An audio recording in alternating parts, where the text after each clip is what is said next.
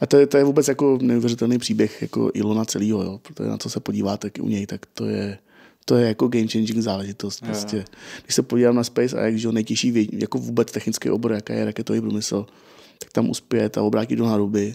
To je jako hmm. fakt neuvěřitelný sleduju fakt jako každý start, protože to je jako zázrak malý. A... Ono, ono vůbec vždycky vidím na Facebooku ty záběry, jak tam ta raketa přistane přesně na tom místě, jak to nepřevrhne, nebouchne nic. No. Nejen to, oni jako ještě přistanou simultánně, že ty rakety, tak chcete no. největší joke. Já teda mimo to jsem ještě jako modelář a občas lítám letadlama, myslím si, že takhle jsem se přistávat nikdy nenaučil. Niči, ničím teda musím říct.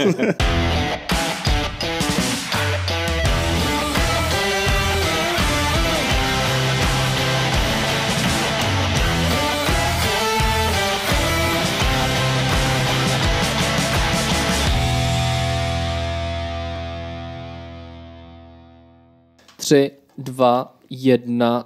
Adame, je to tvoje. Super, děkuji. Zdravíme všechny posluchače a vítáme v další epizodě Romana Bacíka, který má v O2 na starosti um, vývoj nových produktů. Ahoj, děkujeme, že jsi ahoj, ahoj. Čau, čau. Já jsem tě tady ještě před, před natáčením nazval takým malým českým Johnny Ivem, že jsme se zasmáli, ale ale ono to možná není úplně uh, jako paralela špatná, protože ty vlastně vyvíjíš produkty, které jsou jako elektronické zařízení, že jo? I takové produkty, i digitální. To máme buď plně digitální, anebo teda i máme jeden produkt, který je takový speciální, že že ho vyvíjíme i po té hardwareové stránce. A to je to, to, to, zařízení, co máme tady? A to je to zařízení, co to tady který máte. nám teďka jako nejde tenhle den. to nebude tím zařízením. Já tady máme nainstalovanou od vás tu televizi a dostali jsme k tomu jako internet, ale dneska to hrozně blbne, takže to tady budeme nějak muset jako vydržet s tím, že to googlujeme přes HDMIčko. No. Já myslím, že to vyřešíme. Ne, to je, to, to je tím kabelem, to je jasný. Taky myslím, no. jako to, že nemáme ten kabel. To, že ho nemáme, přesně tak. Ne. No, jak to teda můžeme jako vytunit tu Wi-Fi, no, aby nám to jako tady frčelo líp? Tak obecně základ je dobrý Wi-Fi router, to je takový to zařízení, který doma přijímá internet a pak ho prostřednictvím kabelu nebo Wi-Fi zprostředkovává zařízením. Hmm. to vlastně byla největší výzva, kterou jsme jako měli, protože mm, ta doba se strašně mění, ty rychlosti internetu se zvětšují a zároveň počet připojených zařízení. Nevím, kolik máte doma připojených zařízení, ale třeba už desítky, milion. opravdu, no, jo, že, no.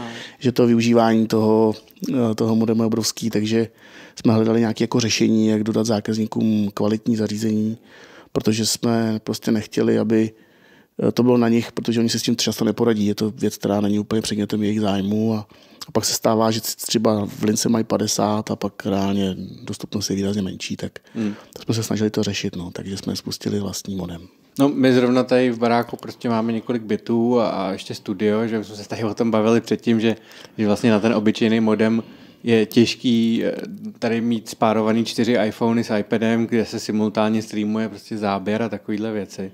Tak uh, tohle to jako, byl to velký upgrade, teda musím říct. Ale jako, to, že to občas vypadává, protože máme prostě máme blbě připojený kabel, nebo spíš nemáme, tak to je, jako, to je spíš naše chyba. Jo, no prostě jak to roste počet těch zařízení v jedné místnosti třeba, tak potom ta Wi-Fi jako taková, ta dnešní specifikace není úplně odolná proti tomu rušení.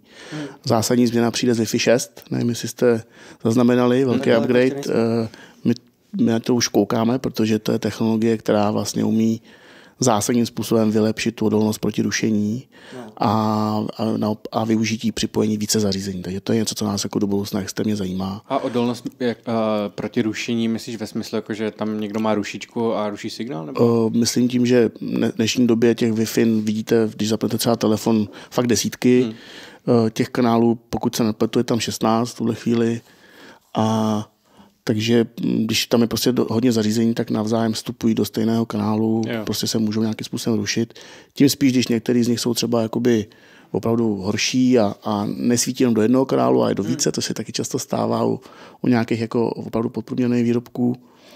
Ta nová specifikace umožňuje v podstatě eh, využívat víc kanálů, takže tam může na, na, naraz být víc zařízení a zároveň pomocí jednoho kanálu umí odbavit provoz více zařízení, což dneska vlastně moc dobře nejde. Hmm. No je pravda, že většinou, když tady někdo je z nás, nebo prostě, já nevím, hostů nebo známých nebo prostě kolegů z práce a tak, tak každý má většinou prostě telefon, nějaký iPhone a k tomu si přinese notebook Jo, teď je tady 10 lidí a najednou to je v prostě 25 zařízení třeba, že jo? a to už je trošku asi náročnější.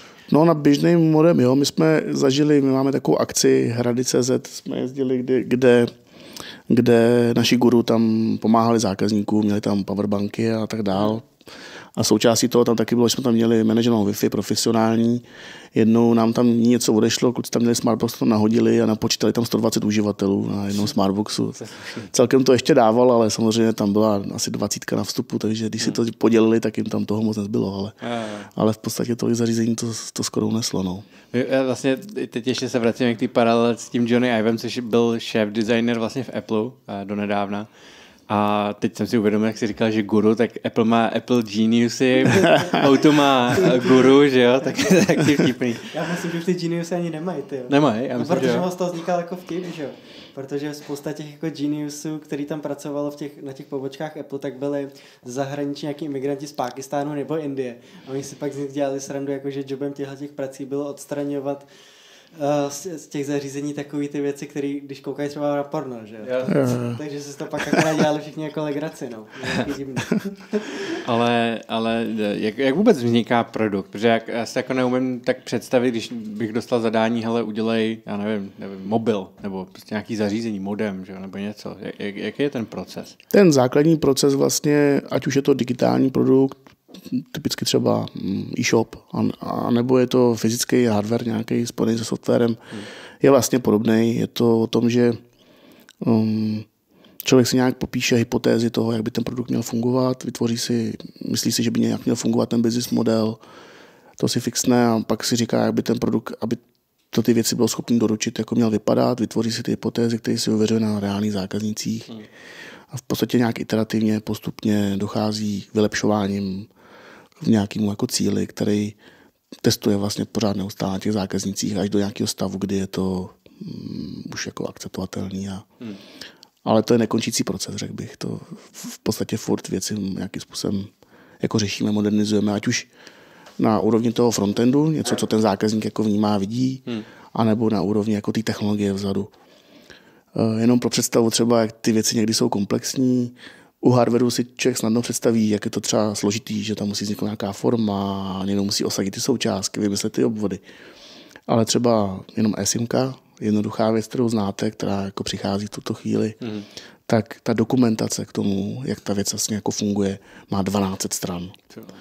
Jo, 12 stran technického textu můžu někdy ukázat, je to fakt jako výborný čtení takhle na večer. Výborně, to zní Musí nás se o toho skvěle. Jako o tu slovník naučný. Takže je to velice komplexní věc, no. opravdu s obrovskými bezpečnostními aspekty a tak dále, takže někdy to je i takhle jako náročné, ač to není vidět. Je to na konci o tom, že vydáte v telefonu přidat tarif, vyfotíte QR kód a ono se tako stane.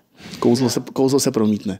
Ale vlastně takhle to je s tím telefonem, že mačkou ikonku to zvládne moje dítě, ale to, co je za, za věci kolem v tom, aby se tohle stalo, tak to jsou velice složité jako věci. To si právě myslím, že třeba benefit toho, já nevím, toho Apple nebo těch jejich produktů, že uh, asi se nad tím v tu dobu zamysleli uh, podobným způsobem, že si řekli, jak udělat jakoby jednoduše něco, co je strašně komplexní, jak udělat prostě jednoduše, že si na to kliknu, mám tam aplikaci, je to takový hezký, jednoduchý, každý se v tom vyzná, i babička to může používat, že ale ve finále to, co je zatím, tak musí být jako nesmírně technologicky náročný. Že? Je to obojí. Myslím si, že i přijít na to v té době, když ten Steve to dělal, eh, přemýšlel o to tímhle způsobem, což bylo do jistý revoluční a myslím si, že spousta šikovných, chytrých lidí v, tom, v tu dobu ten smysl neviděl.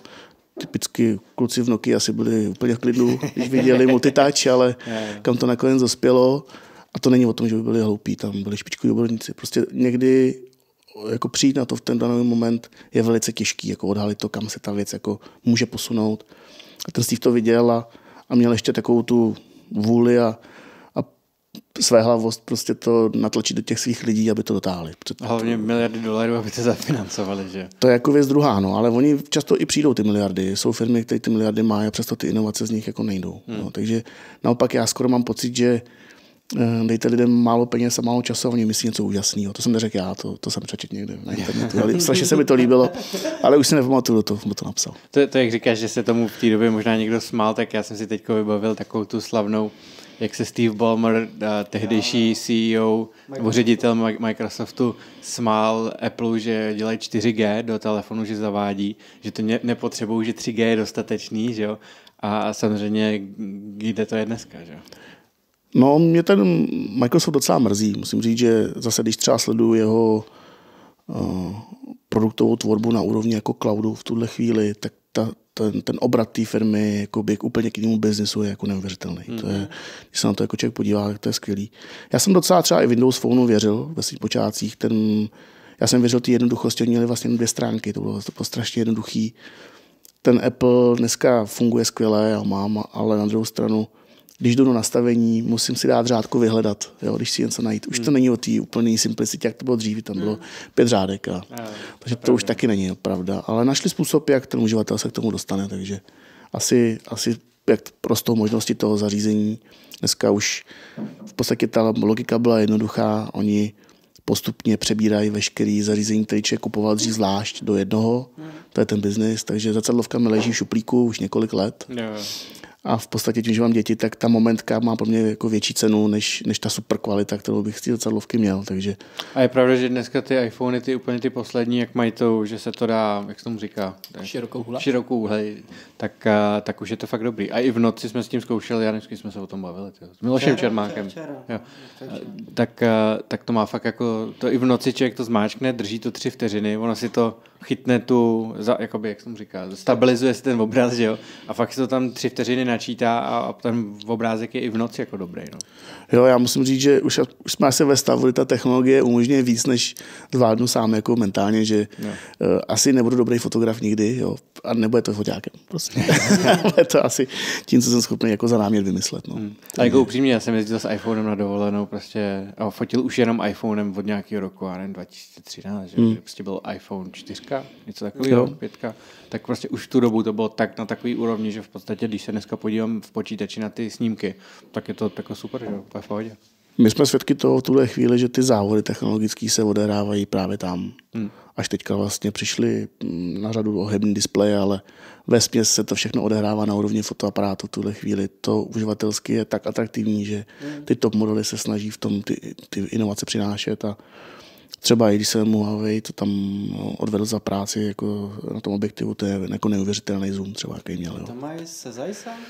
Mají to se Zajsem, no. Jo, jo, no tak to, tam to je a je to fakt zajímavý, eh, to opravdu to je až, jako říkám, jako spy kamera, jo. to prostě eh, na, na 200 metrů člověk vidí věci, které by nechtěl vidět třeba ani. Takže jako fakt, fakt neuvěřitelný, co ty telefony dneska dokážou. Na, druhou, na druhou stranu ten čip je teda, jako ten zase nedokáže utáhnout tolik informací. A když si otevřu jako RAW fotku ze svý zrcadlovky oproti jako fotce, co, co mám tady z iPhonea, tak jako vždycky radši šáhnu ještě po té zrcadlovce.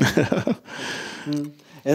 Každý musí něco jiného. No. Já rozumím, no, ale třeba došel jsem do stavu, kdy kdy ten iPhone pravděpodobně bude rychlejší už některými počítači, který mám doma. No, Takže možná některý videa radši se stříhám v tom mobilu, i když to není úplně jako uživatelsky příjemný, ale hmm. tak je to malinký, ale je to rychlejší rozhodně. Tak on to tady dělá takhle hlavě, jako že vždycky, když něco natočí, tak většinou to stříhá jako na mobilu ještě, a když to, když to není jako nějaká komplikovaná věc a jako vidět, že, že když to má někdo v ruce, tak je to fakt strašně rychlý. No. Vůbec jako iPad třeba to je kapitola sama pro sebe nový, pročkový, nevím, jestli jste viděli benchmarky, ale jo. to je výkonnější než intelácký procesory, takže Fakt, no, to je prostě neuvěřitelné, co tam ty kluci dokázali dostat. No. To je jako rychlejší, než ten počítač, na který to všechno taháme. No. Fakt, jo. Mm. Já jsem totiž, jako, ono je to vtipný, že protože kdysi jsme měli první počítače, to mělo, já nevím, 10 mega paměť, jo. to bylo, dneska bych tam nahrál tři fotky a byl, byl konec vlastně, jo, ten crashnul ten počítač. A, a kam se to dneska dostalo, že každý mobil má prostě úplně neskutečný výkon, a, a, a s tím souvisí prostě i, ale podle mě i jako, že jednak výdrž baterie a spousta dalších věcí, ty displeje a tak dále, který, který jako to je navázaný a člověk vidí jenom, že jako jo, hele, tak je to o půl milimetru tenčí tenhle rok, že jo, má to o jednu kamerku navíc, ale to, co se skrývá zatím, ta, ta, ten jako to, to inženýrství toho, jak prostě tu baterku, která má větší výkon, ale je o půlku menší, jak to do toho vůbec mohli dostat, že jo? A to je podle mě to největší asi kouzlo té technologie. Já jsem hmm. tak jako freak na tyhle ty věci, protože prostě mě by baví věci, které hezky fungují. Baví mě auta, baví mě tyhle ty technologické věci. Že? Jo, ty auta teďka taky docela um, zažívají velký kick. Že? Když se podíváme na Teslu, tak hmm. to je přesně to, co udělal vlastně Apple v telefonech, tak teďka předvádí Tesla v automobilech. vlastně to je až neuvěřitelný, eh, kolik prostoru tam vlastně ten Elon byl schopný najít a Ač třeba z pohledu jako výroby a tak dál, tak možná ty tradiční značky mají jako náskok, tak z pohledu ty elektroniky, ty variability, to, to, se, to je neuvěřitelné. Já mám pocit, že teďka přeskočili kapitalizací Volkswagen a, a dokonce i Ford. No. Četl jsem to, no. To já mám pocit, že dohromady Ford a GM, jako General Motors v Americe, mají nižší kapitalizaci, než má hmm. Tesla. Že? No. Hmm.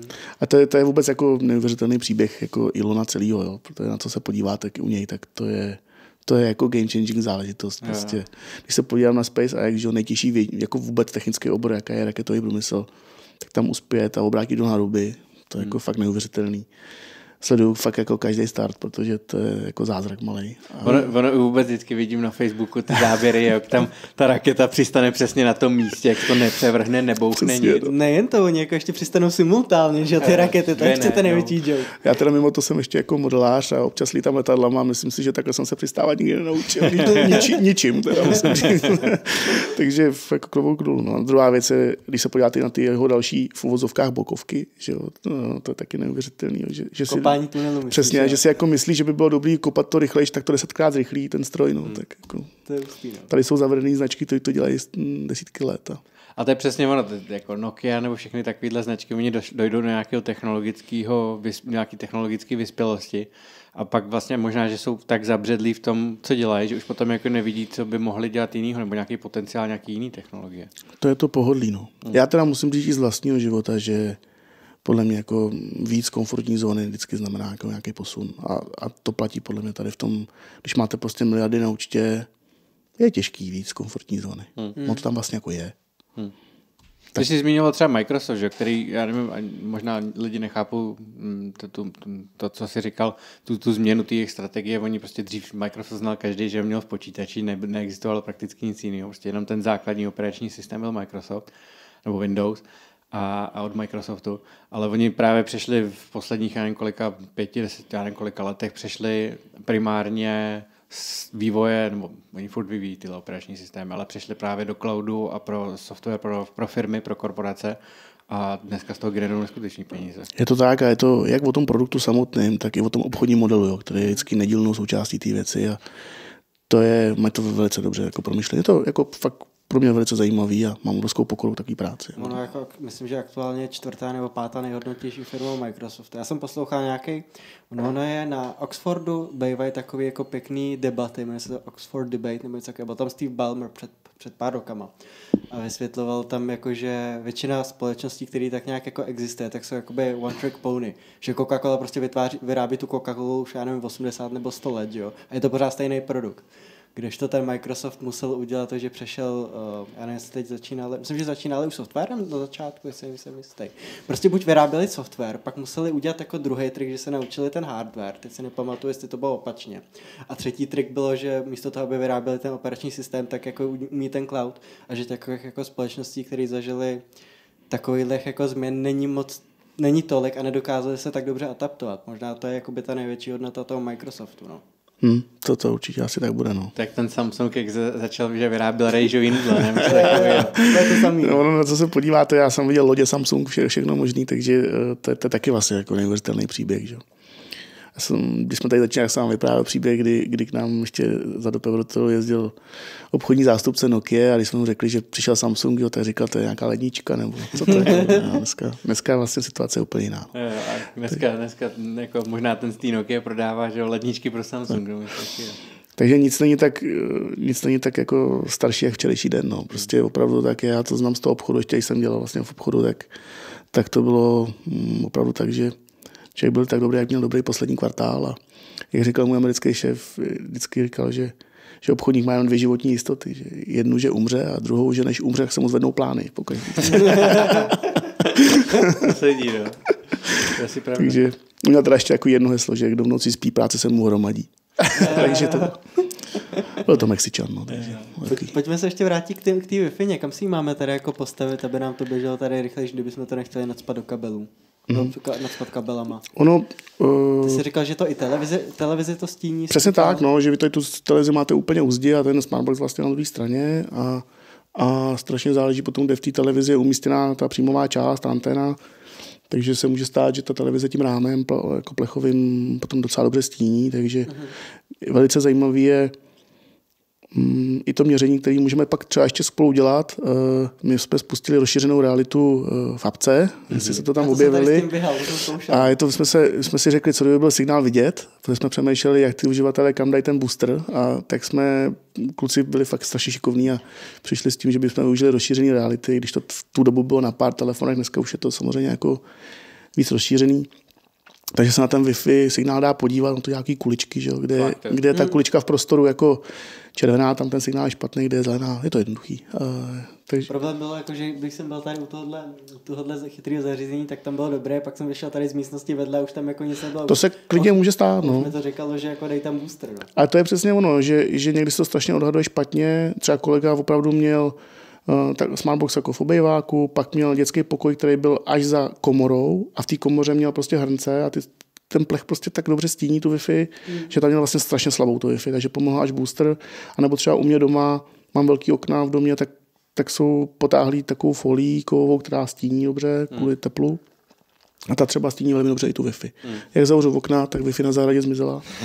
takže jsem musel si tam dát nahoru taky na střechu ještě jako jeden, jeden, jednu wi no. Ono to totiž souvisí s jedním, s jedním takovým tématem, který jsme tady chtěli nakousnout, a to je to 5G, ta nová technologie, která jako když si to člověk vygoogluje nebo podívá se na YouTube, tak tam je samozřejmě spousta takových těch konspiračních teorií a, a poloprav a mýtů a, a potom, když si člověk jako nastuduje, jaká je, ta technologie ve skutečnosti je, tak zjistí, že mm, možná uh, nedává moc smysl mít nějaký takovýhle obavy, ale mm, ono to souvisí s tím signálem a se vším. Možná nechceš začít tím, že bys jako vysvětlil, o, o co v tom jde, co jaký je rozdíl mezi 4G a 5G třeba.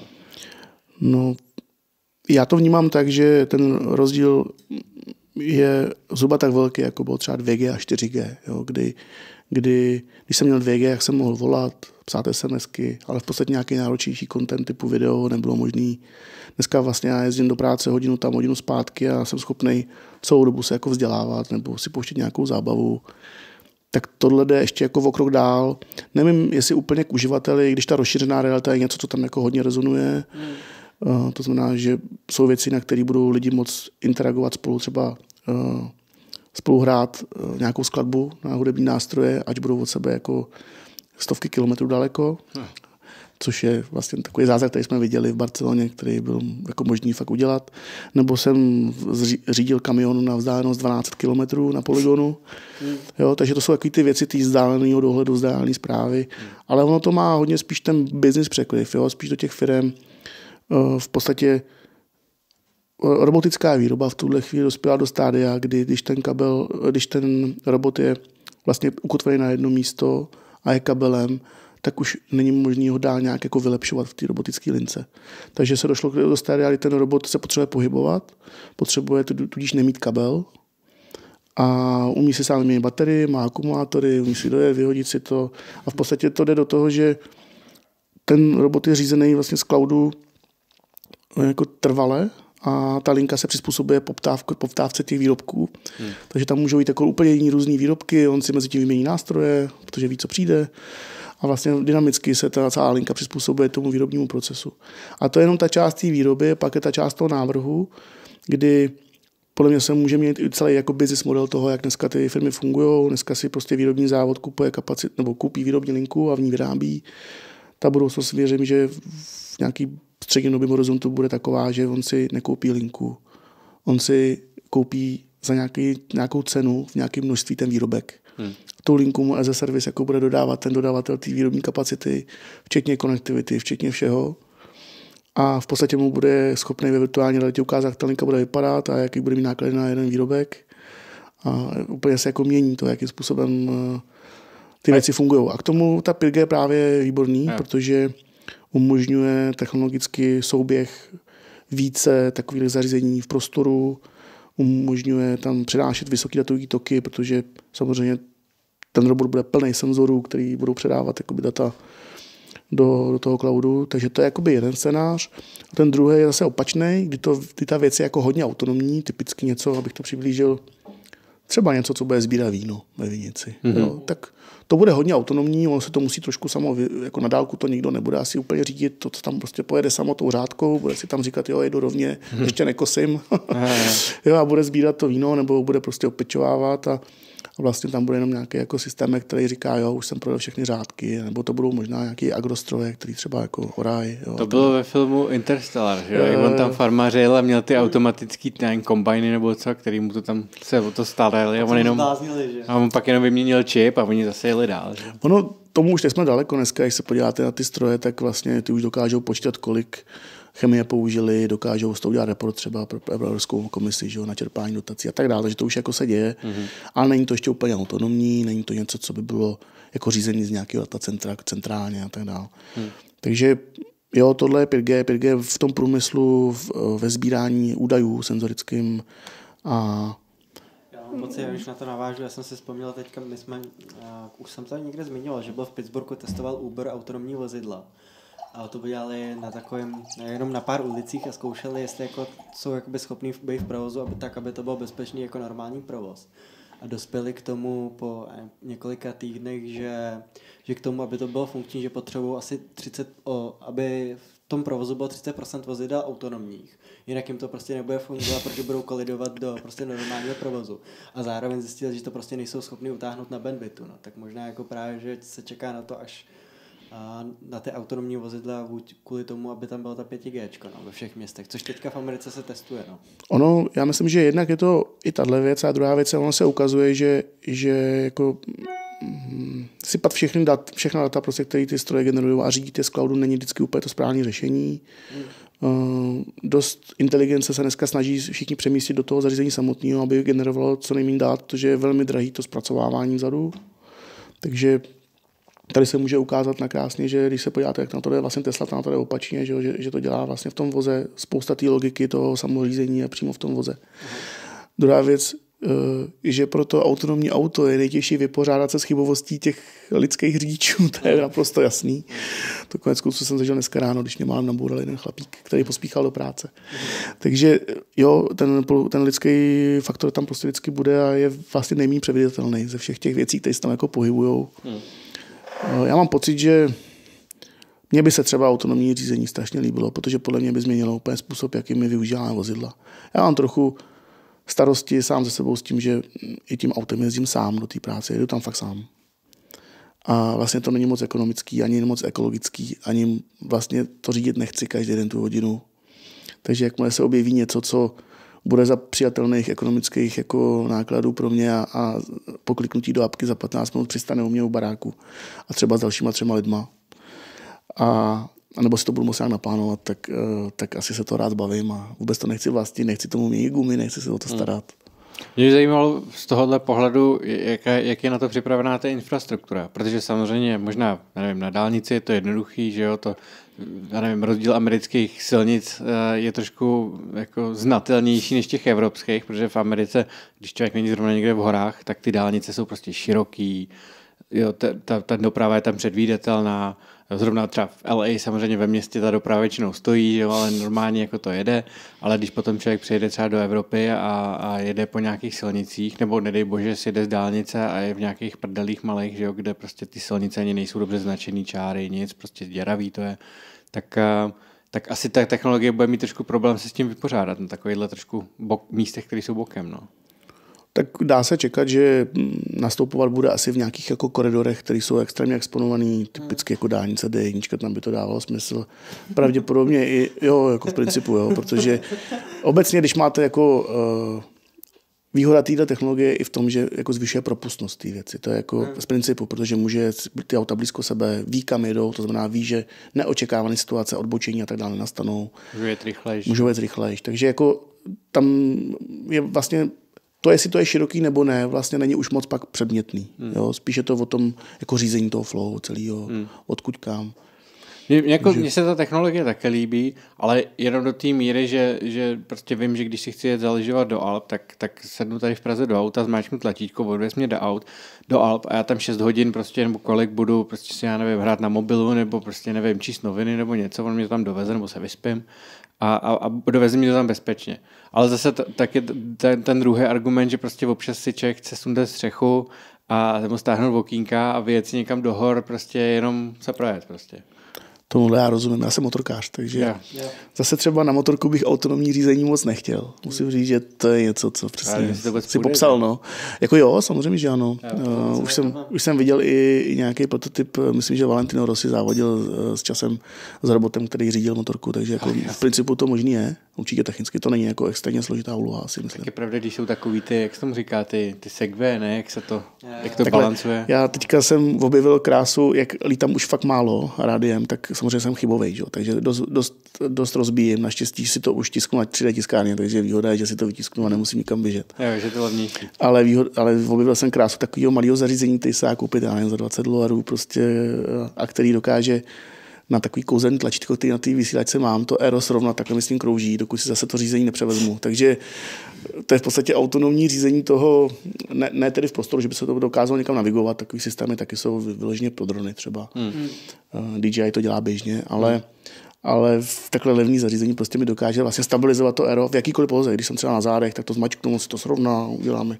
Je důležitý, ale je dostatečně vysoko, aby člověk jako nespadl na zem. Ale Ona tato technologie už existuje jako delší dobu, jo, protože já si vzpomínám, já jsem čet deklasifikovanou zprávu CIA, která mluvila o tom, že v nějakých tuším 70. letech měla CIA jakoby plán, jak, ehm, jak že, že, že, prostě bude letadlo, který bude unešený, který bude na dálku řízený a napálí to do, do um, vtipně do dvojčat, jo? Což se jako ve skutečnosti potom stalo, já nevím kolik let potom, ale oni už tehdy v těch já nevím, 70. 80. letech měli technologii na to, aby uh, v podstatě na dálku, prostě od nějaké z letiště nebo z hangáru nebo buchy, odkaď na dálku řídili letadlo a byli schopni ho navíst, přistát, všechno, že? Takže ta technologie je, je, jako už to není nic, co vzniklo minulý týden, že? to už je prostě desítky let možná. ten rozdíl je v těch 20 dolarech. No. Hmm. No přesně, tenkrát to stálo 20 milionů dolarů. Podle mě ten počítač byl velký jak Pentagon celý. A... To je možný, no. Teďka, myslím, že bylo asi před rokem, no, před dvěma rokama, Tesla otestovala to, jak dostat vlastně tu svoje, to svoje vozidlo autonomní z LA do New Yorku, že jo. Tak to je jako by to samý, že. To akorát už to dokáže udělat jenom to, že tam je to vozidlo, který na něco napíchlí a dokáže si to odřídit, no. Hm. To je hustý, no. Ta 5G ještě, um, jaký, jaký je vůbec princip t- toho, protože 5G znamená, uh, že to je pátá generace, což vlastně nic moc jako neříká člověku. Jasně. No, V podstatě ono se mu taky říká jako new radio, jako prostě nový rádio. Je to mm. vlastně úplně jiný způsob využívání toho, toho spektra, toho přenosu těch informací. V principu jiný znamená rychlejší, jiný znamená uh, možnost připojit víc zařízení naraz a jiný znamená ještě ta rychlost souvisí i s nějakou jako odezvou, takže se zmenší, on se říká latence, s menším spožděním, vlastně, když kliknete na stránku, než se něco stane, než se to vrátí, tak je to prostě jako rychlejší. Takže ten základ se odehrává v tomhle. Ty technické prvky, které umožňují potom, ono se tomu říká průmysl 4.0, to je to, o čem jsem mluvil, když jsem říkal digitalizace té výroby a bezdrátové roboti, roboty, roboty, mm-hmm. tak eh, to umožňuje takzvaný, on se tomu říká předsunutý core. Dneska máme nějakou krabici, přes kterou vlastně veškerý ten provoz teče, která ho řídí na těch přes ty jednotlivý jako radiové stanice. A tady ta krabice se dá přesunout blíž k zákazníkovi, takže vlastně ty latence se ultra zkrátí, veškerý provoz se netahá vlastně přes celou páteřní síť a tak dále. Takže tohle tomu se říká mobile edge computing, takový složitý slovo. A, a To se dá možná, jakoby, al, jakoby paralela může být trochu, jako byl mezi Edisonem a Teslou, že ten ACDC, ty, ty že, že, Edison chtěl dát do každého baráku pomalu jakoby alternátor, aby měl stejnosměrný proud, že jo? ale pak by ta jako elektrárna musela být pomalu, pomalu u každého baráku, ne, u každého baráku, ale u každý čtvrtí minimálně. Kdežto Tesla přišel s tím, s tím proměnlivým uh, proudem, s tím střídavým, a který je schopný přenášet po páteřní síti na velké vzdálenosti. Že? Je to, je to podobný, tady vlastně princip je, že to ani do té páteře neteče. Pokud je to provoz, který jde z toho třeba robota, od toho cloudu řídícího a tak dále, tak není důvod ho tahat celý jako přes hmm. tu páteř. Je lepší ho odvést na tom daném místě, kde, kde se ten trafik odehrává. Hmm. Jednak z pohledu nákladu, jednak z pohledu rychlosti odezvy a tak dále. To znamená, jakoby v budoucnu, když se buduje ta 5G síť, tak to znamená, že vlastně pomalu na každém druhém baráku bude nějaký, nějaká antena. Nebo prostě... Takhle, jedna věc je antena, druhá věc je to, co, o čem jsem mluvil, ten, ten, ten core, ten, ta, ta, věc. Ta pravděpodobně ne, ono se to může odehrávat buď v nějaký nějakého velkého výrobního závodu, kde bude velká koncentrace tady těch třeba strojů, anebo to budou velké vzdálenosti. Typicky v té Americe tam už ta latence i na ty vzdálenosti je znát, hmm. takže tam dává mnohem větší smysl tyhle věci jako stavět, protože dneska to je tady, když my tady spolu sedíme a něco vám pošlu, něco vám pošlu jako obou, tak eh, to vždycky jde do centrály a z to jde zase na, no, na ten device. Když to, ta budoucnost je taková, když budeme sedět spolu v světlu, tak tam někde poblíž bude nějaký tady ten jakoby, stroj, přes který to půjde, nepůjde to zbytečně do New Yorku Jasně. na jeden centrální core. Jo? Takže Jasně. víceméně tohle je asi, asi ta podstata pro toho, uh, toho využití v tom průmyslu. Jinak, co se týče potom toho rádia samotného, tam strašně záleží na jakých frekvencích uh, bude um, to 5G využíváno. V tuhle chvíli samozřejmě platí jednoduchý fyzikální zákon, který říká, že čím větší, vyšší frekvence, a čím širší to pásmo pro ten přenos, tím vyšší dosažitelná rychlost, mm-hmm.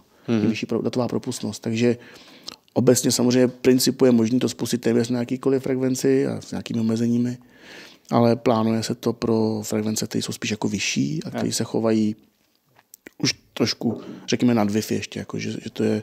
Jo, jinak, jinak pro pochopení teda Um, ta vlna, která jde dneska, když mám vlnu z rádia, která, nebo elektromagnetická vlna, která mi jde třeba do telefonu, že tak ta vlna je prostě, já nevím, má nějakou vejšku a, a, a, a dílku. Že?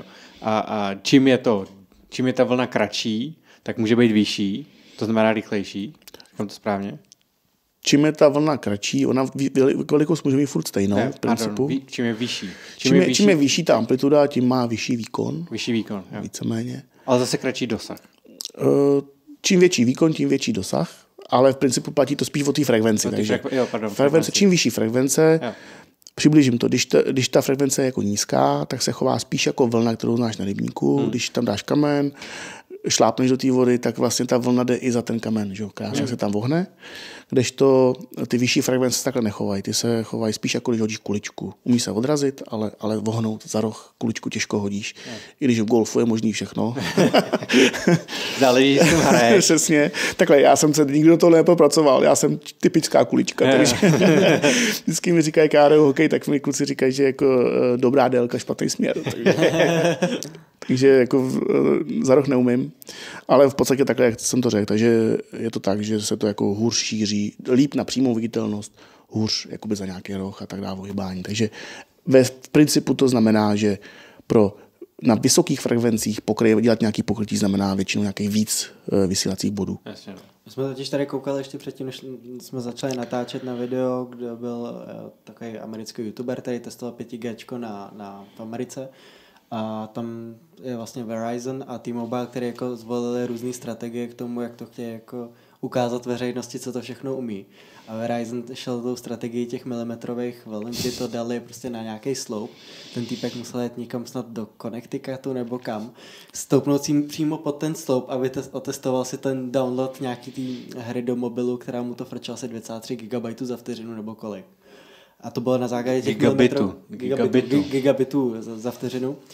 Ale pak šel za roh a najednou ten signál nebyl, že jo? Už, už byl zase na 4G, když to ten T-Mobile pak šel tou strategií těch uh, low bandů a mid bandů a chtěl takhle pokryt celou Ameriku, no. Akorát ta rychlost toho stahování je pak jako malá, že? což je jenom jako jeden use case teda. Je menší, no.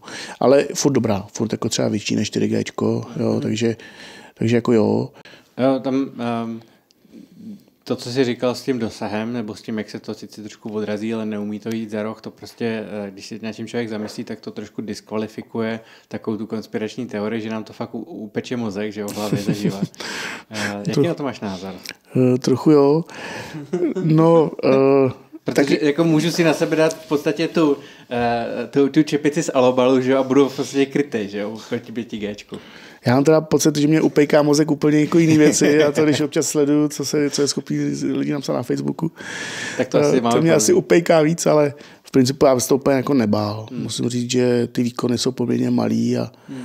A zatím se nějak jako extra, aspoň pokud je mi známo, tak neprojevilo někde, že by někdo fakt jako nějakou sofistikovanou studií došel do závěru, že to je opravdu zdraví škodlivý. Oni jako studie byly, ale žádná Otázka jako... je, nakolik jsou průkazný. No, no. právě, no. Hmm. Kejtka tady zmiňovala přece tu o těch, o těch kusách, já, já, jsem to čet, no. Tam bylo prostě, že měli v kleci zavření nějaký myši nebo krysy a, a snad po dva roky v kuse jim dávali elektromagnetický jako signál nebo frekvenci prostě pole tam bylo v té kleci a myslím, že 10 minut to měli zapnutý, 10 minut vypnutý.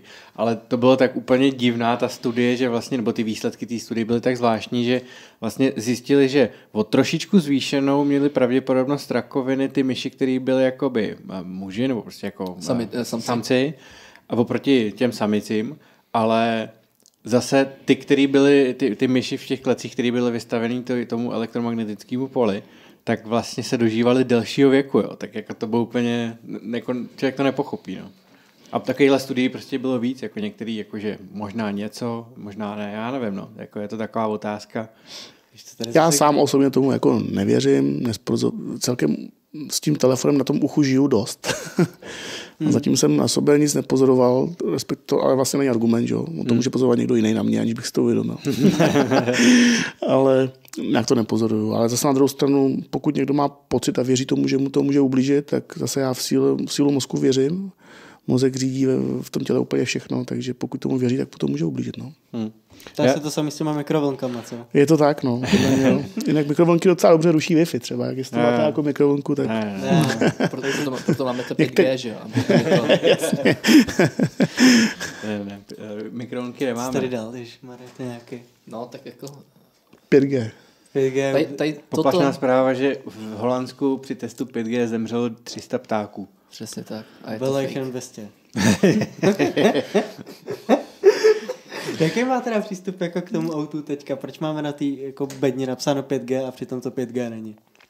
Ono je to v podstatě eh, jako 5G technologie, jako je, s hmm. nezasazeným tím rádiem, to jsme chtěli mít něco, co do budoucna je připravený na, na ty změny, které se můžou dít a v podstatě každý operátor smysluplně se snaží tu technologii kupovat tak, aby byl připravený na věci, které, pokud to jde, samozřejmě, hmm. pokud to nejsou nějaké jako extra velký náklady. A jaký je stav teda věcí, stav 5G v České republice, toho vývoje? My v tu, jste asi chytili, že jsme nějakým způsobem testovali, takže proběhl test. Nějakým způsobem řešíme, kde a jak to jako nasadit. Já nevím, jestli to úplně bude po plošném rolloutu, nebo jestli to bude o nějakých začátech ostrovech, kde ta kapacita třeba bude třeba, jo. Zatím to vypadá dobře, zatím musím říct, že třeba když přijdu do Čech z ciziny, tak tady ten standard ty rychlosti je jako výrazně lepší třeba než, než jinde. Hmm. Tím ale neříkám, že to nemůže být někde lepší. Na druhou stranu, jak jsem mluvil o tom 5G a mluvil jsem o tom, o tom biznisu a o té výrobě, tak v tuto chvíli myslím si, že to má asi jako větší smysl. Ono, pokud člověk už má dostupných 10 megabitů plus, nebo i těch 5, když se mu ten náš tarif, který jsme nasadili, to prostě člověk nepozná nějak zásadně úplně omezení. Jo. Když koukáte na videa, koukáte na věci na internetu, ta, ta rychlost je jako úplně v pohodě. Hmm. Jo. Ta, ta náročnost přichází potom s rozšířenou realitou, s nějakýma věcma, který přijdou možná ohledně gamingu. Viděli jsme Google, jako, jak připravil vlastně herní jako platformu, že jo. Jo, počkej, to jsem ale pořád ještě jako pořádně nefun- nepochopil. To je jako, že budu hrát hry přes YouTube, nebo?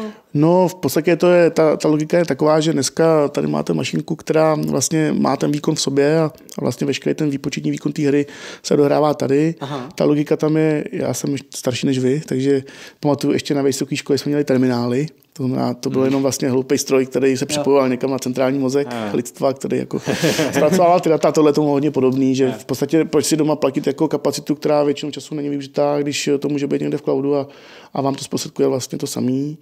Takže mm-hmm. ta myšlenka zatím je poměrně dobrá, podle mě. Jo, myslím že to si, v cloudu teda. A myslím si, že je velice ekologická, jo? protože to je jak s těma autama. Ono, když počítač nevyužíváte jako 24 hodin denně, hmm. tak vlastně za něj platíte furt, je to stejný.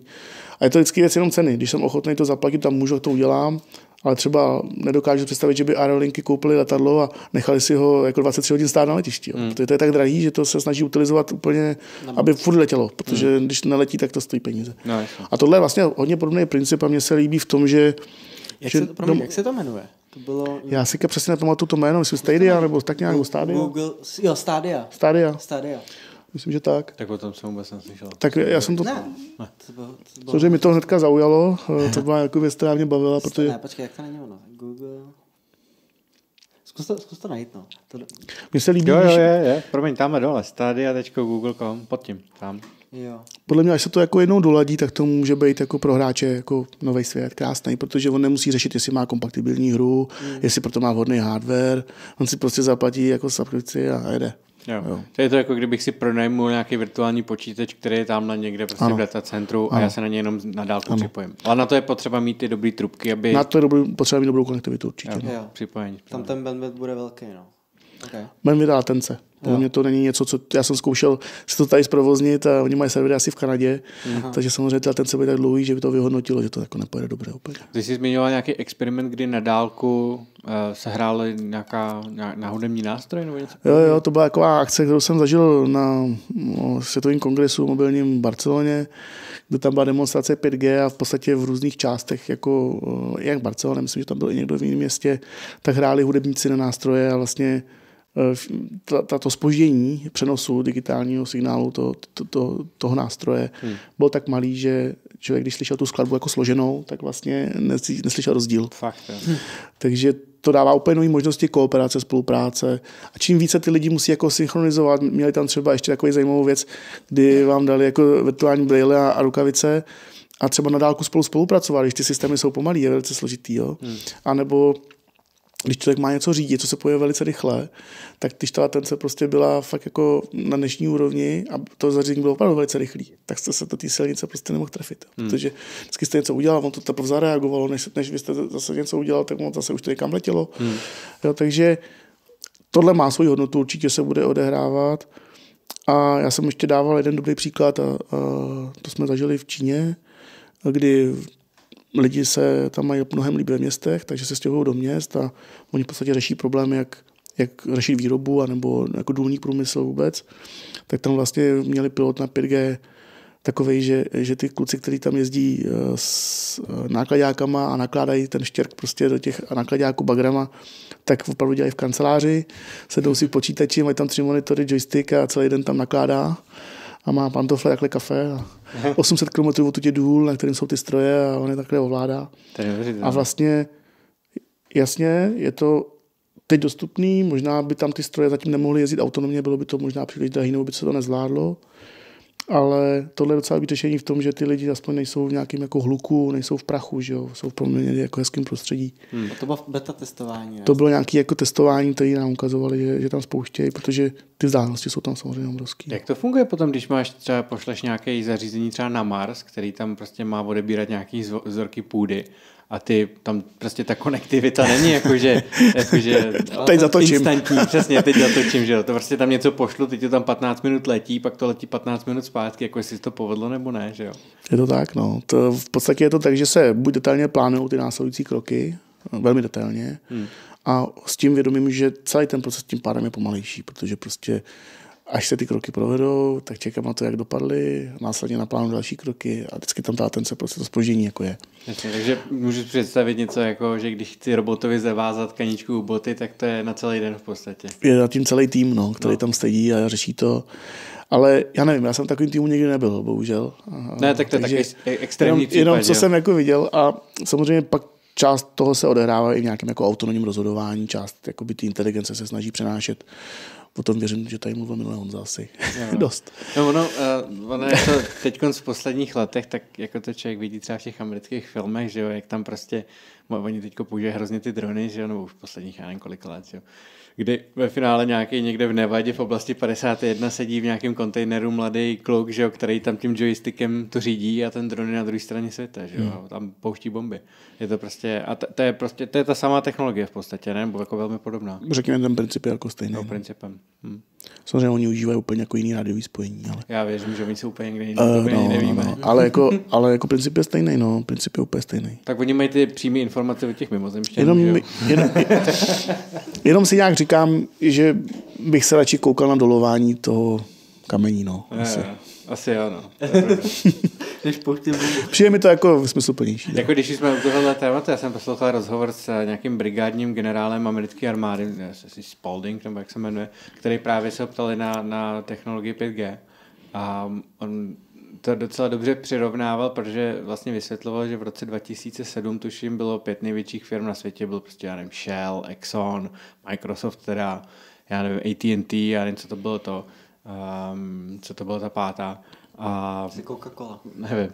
Ale v roce 2007 vlastně Apple vypustil první iPhone. Myslím, že rok nebo dva roky na to byla ta nová síť 4G, která umožnila vlastně vytvoření všech těch různých aplikací a služeb a nevím kde čeho, co ty lidi dneska používají, že jo, od já nevím Netflixu po, já nevím, porno, prostě cokoliv, jako co si člověk umí představit. A vlastně dneska po těch, já nevím, 10-13 letech největší firmy na světě jsou, už nejsou to prostě těžařské firmy nebo něco podobného, ale je to prostě Apple, Google, um, Amazon. Amazon, Facebook, a nebo potom v Číně teď, že jo, Tencent a, a Alibaba a tyhle ty firmy, že jo. Prostě firmy, které chytly tu příležitost, že měli ten dobrý hardware, ten, tyto zařízení připravený na ty super služby a zároveň měli tu ty trubky, tu, tu konektivitu, to, který mohli tu, tu, tu službu rychle doručit tomu zákazníkovi. To je taková asi budoucnost, ehm, nevím, i všude po světě asi. Jo, tak určitě to tak je. V podstatě tím driverem je ten digitální svět, který vlastně odhmotňuje ty služby jako takový, stávají se dostupný, ne, nepotřebuješ celý jako distribuční sítě na to, abys to vůbec tomu zákazníkovi nějak dostal. Máš mnohem levnější reklamu, jo, prostě jsi schopný vytvořit produkt, na Facebooku ho zpromovat, uh, získat si pro něj uživatele, pokud prostě mm, jo, mm, je zajímavý. Hmm. To úplně mění pravidla hry, úplně toho, jak lidi přistupují, globalizuje se to, že jo, lidi, kteří mají dobrý nápad, se mnohem snáš prosadí, Jo, je, je to úplně jako něco jiného. Něco úplně jiného. Co to 5G teda jako ještě uvolní, co se teďka jako dít nemůže? My jsme tady zmiňovali ten gaming tu stádii, že to asi ještě tady nefrčí, ale mluví se o uh, Internet of Things, jo, IoT, mluví se o chytré domácnosti. Co to všechno může? Jako v podstatě internet věcí uvolnit? jako takový uh, tím může a nemusí být dreván přímo. To je, už v současné chvíli jsou technologie, které to jako můžou nějakým způsobem řešit. Mm-hmm Strašně záleží, o jaký use case se jedná. Ta výhoda, v podstatě e, technologie páté generace, která už je nasazená teď, tak to je na Roadmet IoT, což je technologie, která umožňuje připojit senzory sice velice nízkou rychlostí, ale e, velice úsporně, to znamená, ta baterka tam vydrží jako roky a zároveň je to komunikační úloha, která se může odehrávat, on se tomu říká jako do, do deep indooru, to znamená do, jako, do místností, které jsou třeba hluboko uvnitř budovy, mm-hmm. do nějakých jako technických místností nebo do nějakých oplechovaných plášťů. Ta prostupnost toho signálu je prostě jako fakt špičková. Aha. Takže to už dneska dostupný je, postupně se objevuje čím dál víc jakoby konsolových zařízení, z začátku to bylo jako, jako slabý, ten rok myslím, že to je dost lepší. Jakože budou lednička objednávat jídlo za mě na rohlíku. To se klidně může stát, ale spíš to vidím v té první fázi na nějaké jako use case, kdy, kdy se opravdu dělají nějaké senzorické měření, eh, Dělali byste se třeba, jaký vzduch dýchají naše děti ve školách. Aha. My jsme dělali nějaké jako piloty, kde jsme měřili ovzduší. To je první hodina a nějaké doporučení, třeba hodnota CO2 byla nějaký 12 jednotek. Yeah. A během hodiny tam bylo 3200. Jo. Takže to, jako, to je tak, nevětrají pořádně a tak, No, jo. čím ta budova, když ta budova nemá rekuperaci a má zateplení, což je dost častý případ, tak to zateplení vlastně způsobí to, že se ta je hermeticky uzavřená ta budova hmm. a mnohem horší výsledky jsou tam než těch starých budovách, kde byly děravý okna, jo, protože v principu tam to větrání jako je, takže Já, to je o trochu lepší. To máme tady my, přesně. takže tady máte dobrý CO2 určitě. Já, máme výborný vzduch. Ale je to smutný, že protože ty děti v tom tráví tolik času, takže eh, já věřím tomu, že se toho někdo taky chytí a že, že začneme řešit takovéhle věci, které mě to trápí, protože mám malé děti, tak eh, člověk je k tomu samozřejmě blíž, než když jsem byl mladý a byl mi všechno jedno. Hmm tak, eh, takže to vnímám, že by mohlo zabrat senzorickým měřením. Bavíme se o agroprůmyslu, bavíme se o, o strojírenství, bavíme se vlastně o logistice, jo, no, kde, se, kde, se ty věci, auto, kde se ty věci pohybují, nebo senzory toho, jestli ty věci jsou přepravovány ve správných podmínkách, typicky potraviny a tak dále. Takže to jsou věci, které ten trh budou jakoby asi nakopávat v následujících letech.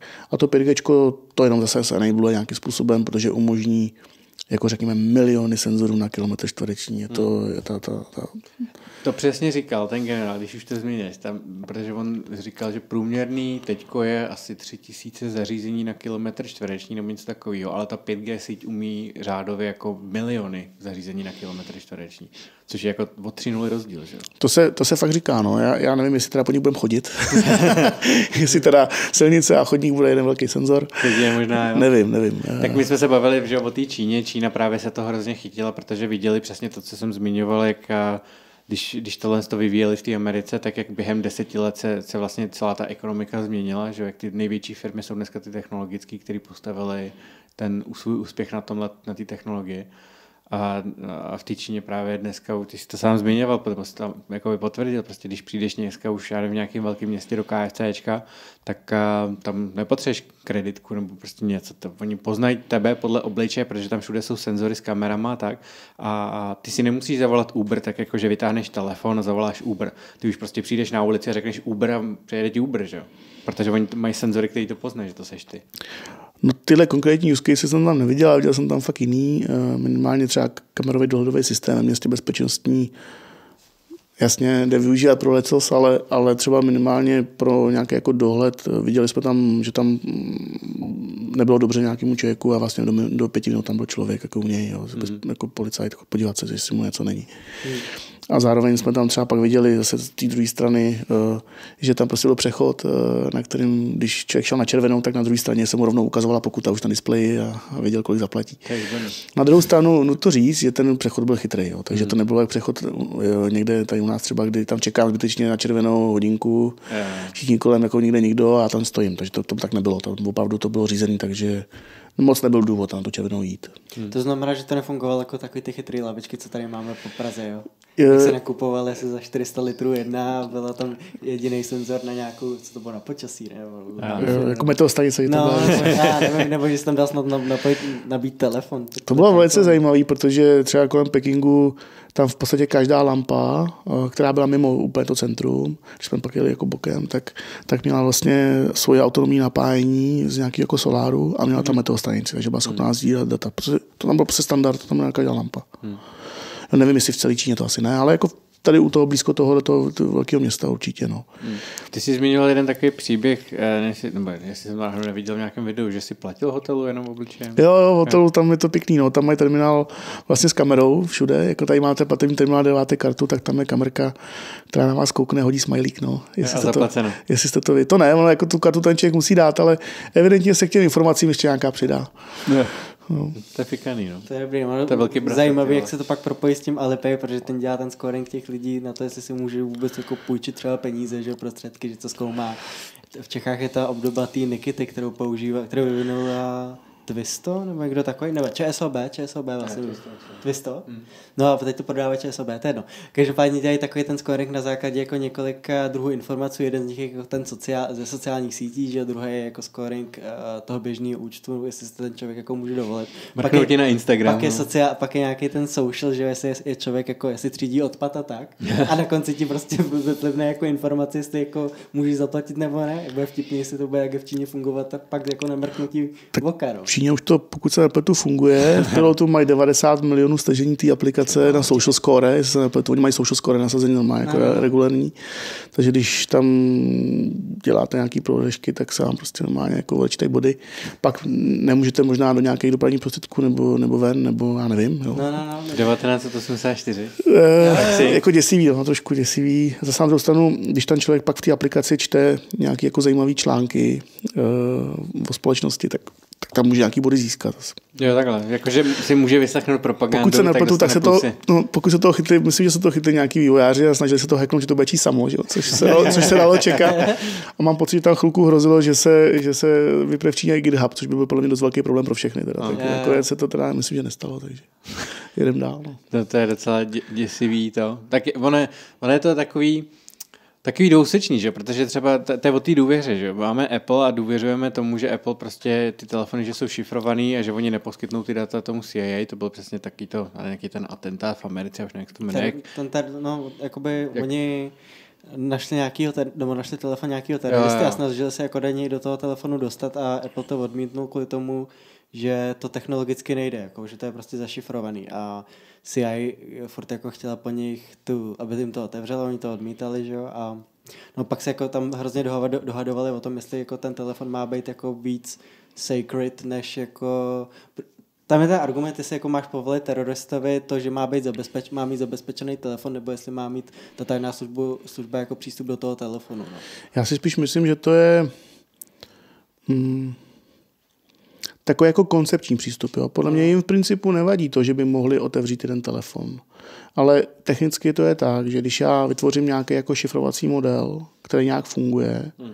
a dám do něj nějaký zadní dvířka, anebo ho prostě um, ty, ty šifry uvolním nějaký třetí straně, která s ním může pracovat, tak tam prostě v principu vytvářím díru, kterou nemůže zneužít jenom, nebo kterou nemůže, může se stát, že ji zneužije někdo jako jiný ještě, než ta entita samotná. Já myslím, že oni se nebojí tomu, že by Federální národní úřad něco zneužil.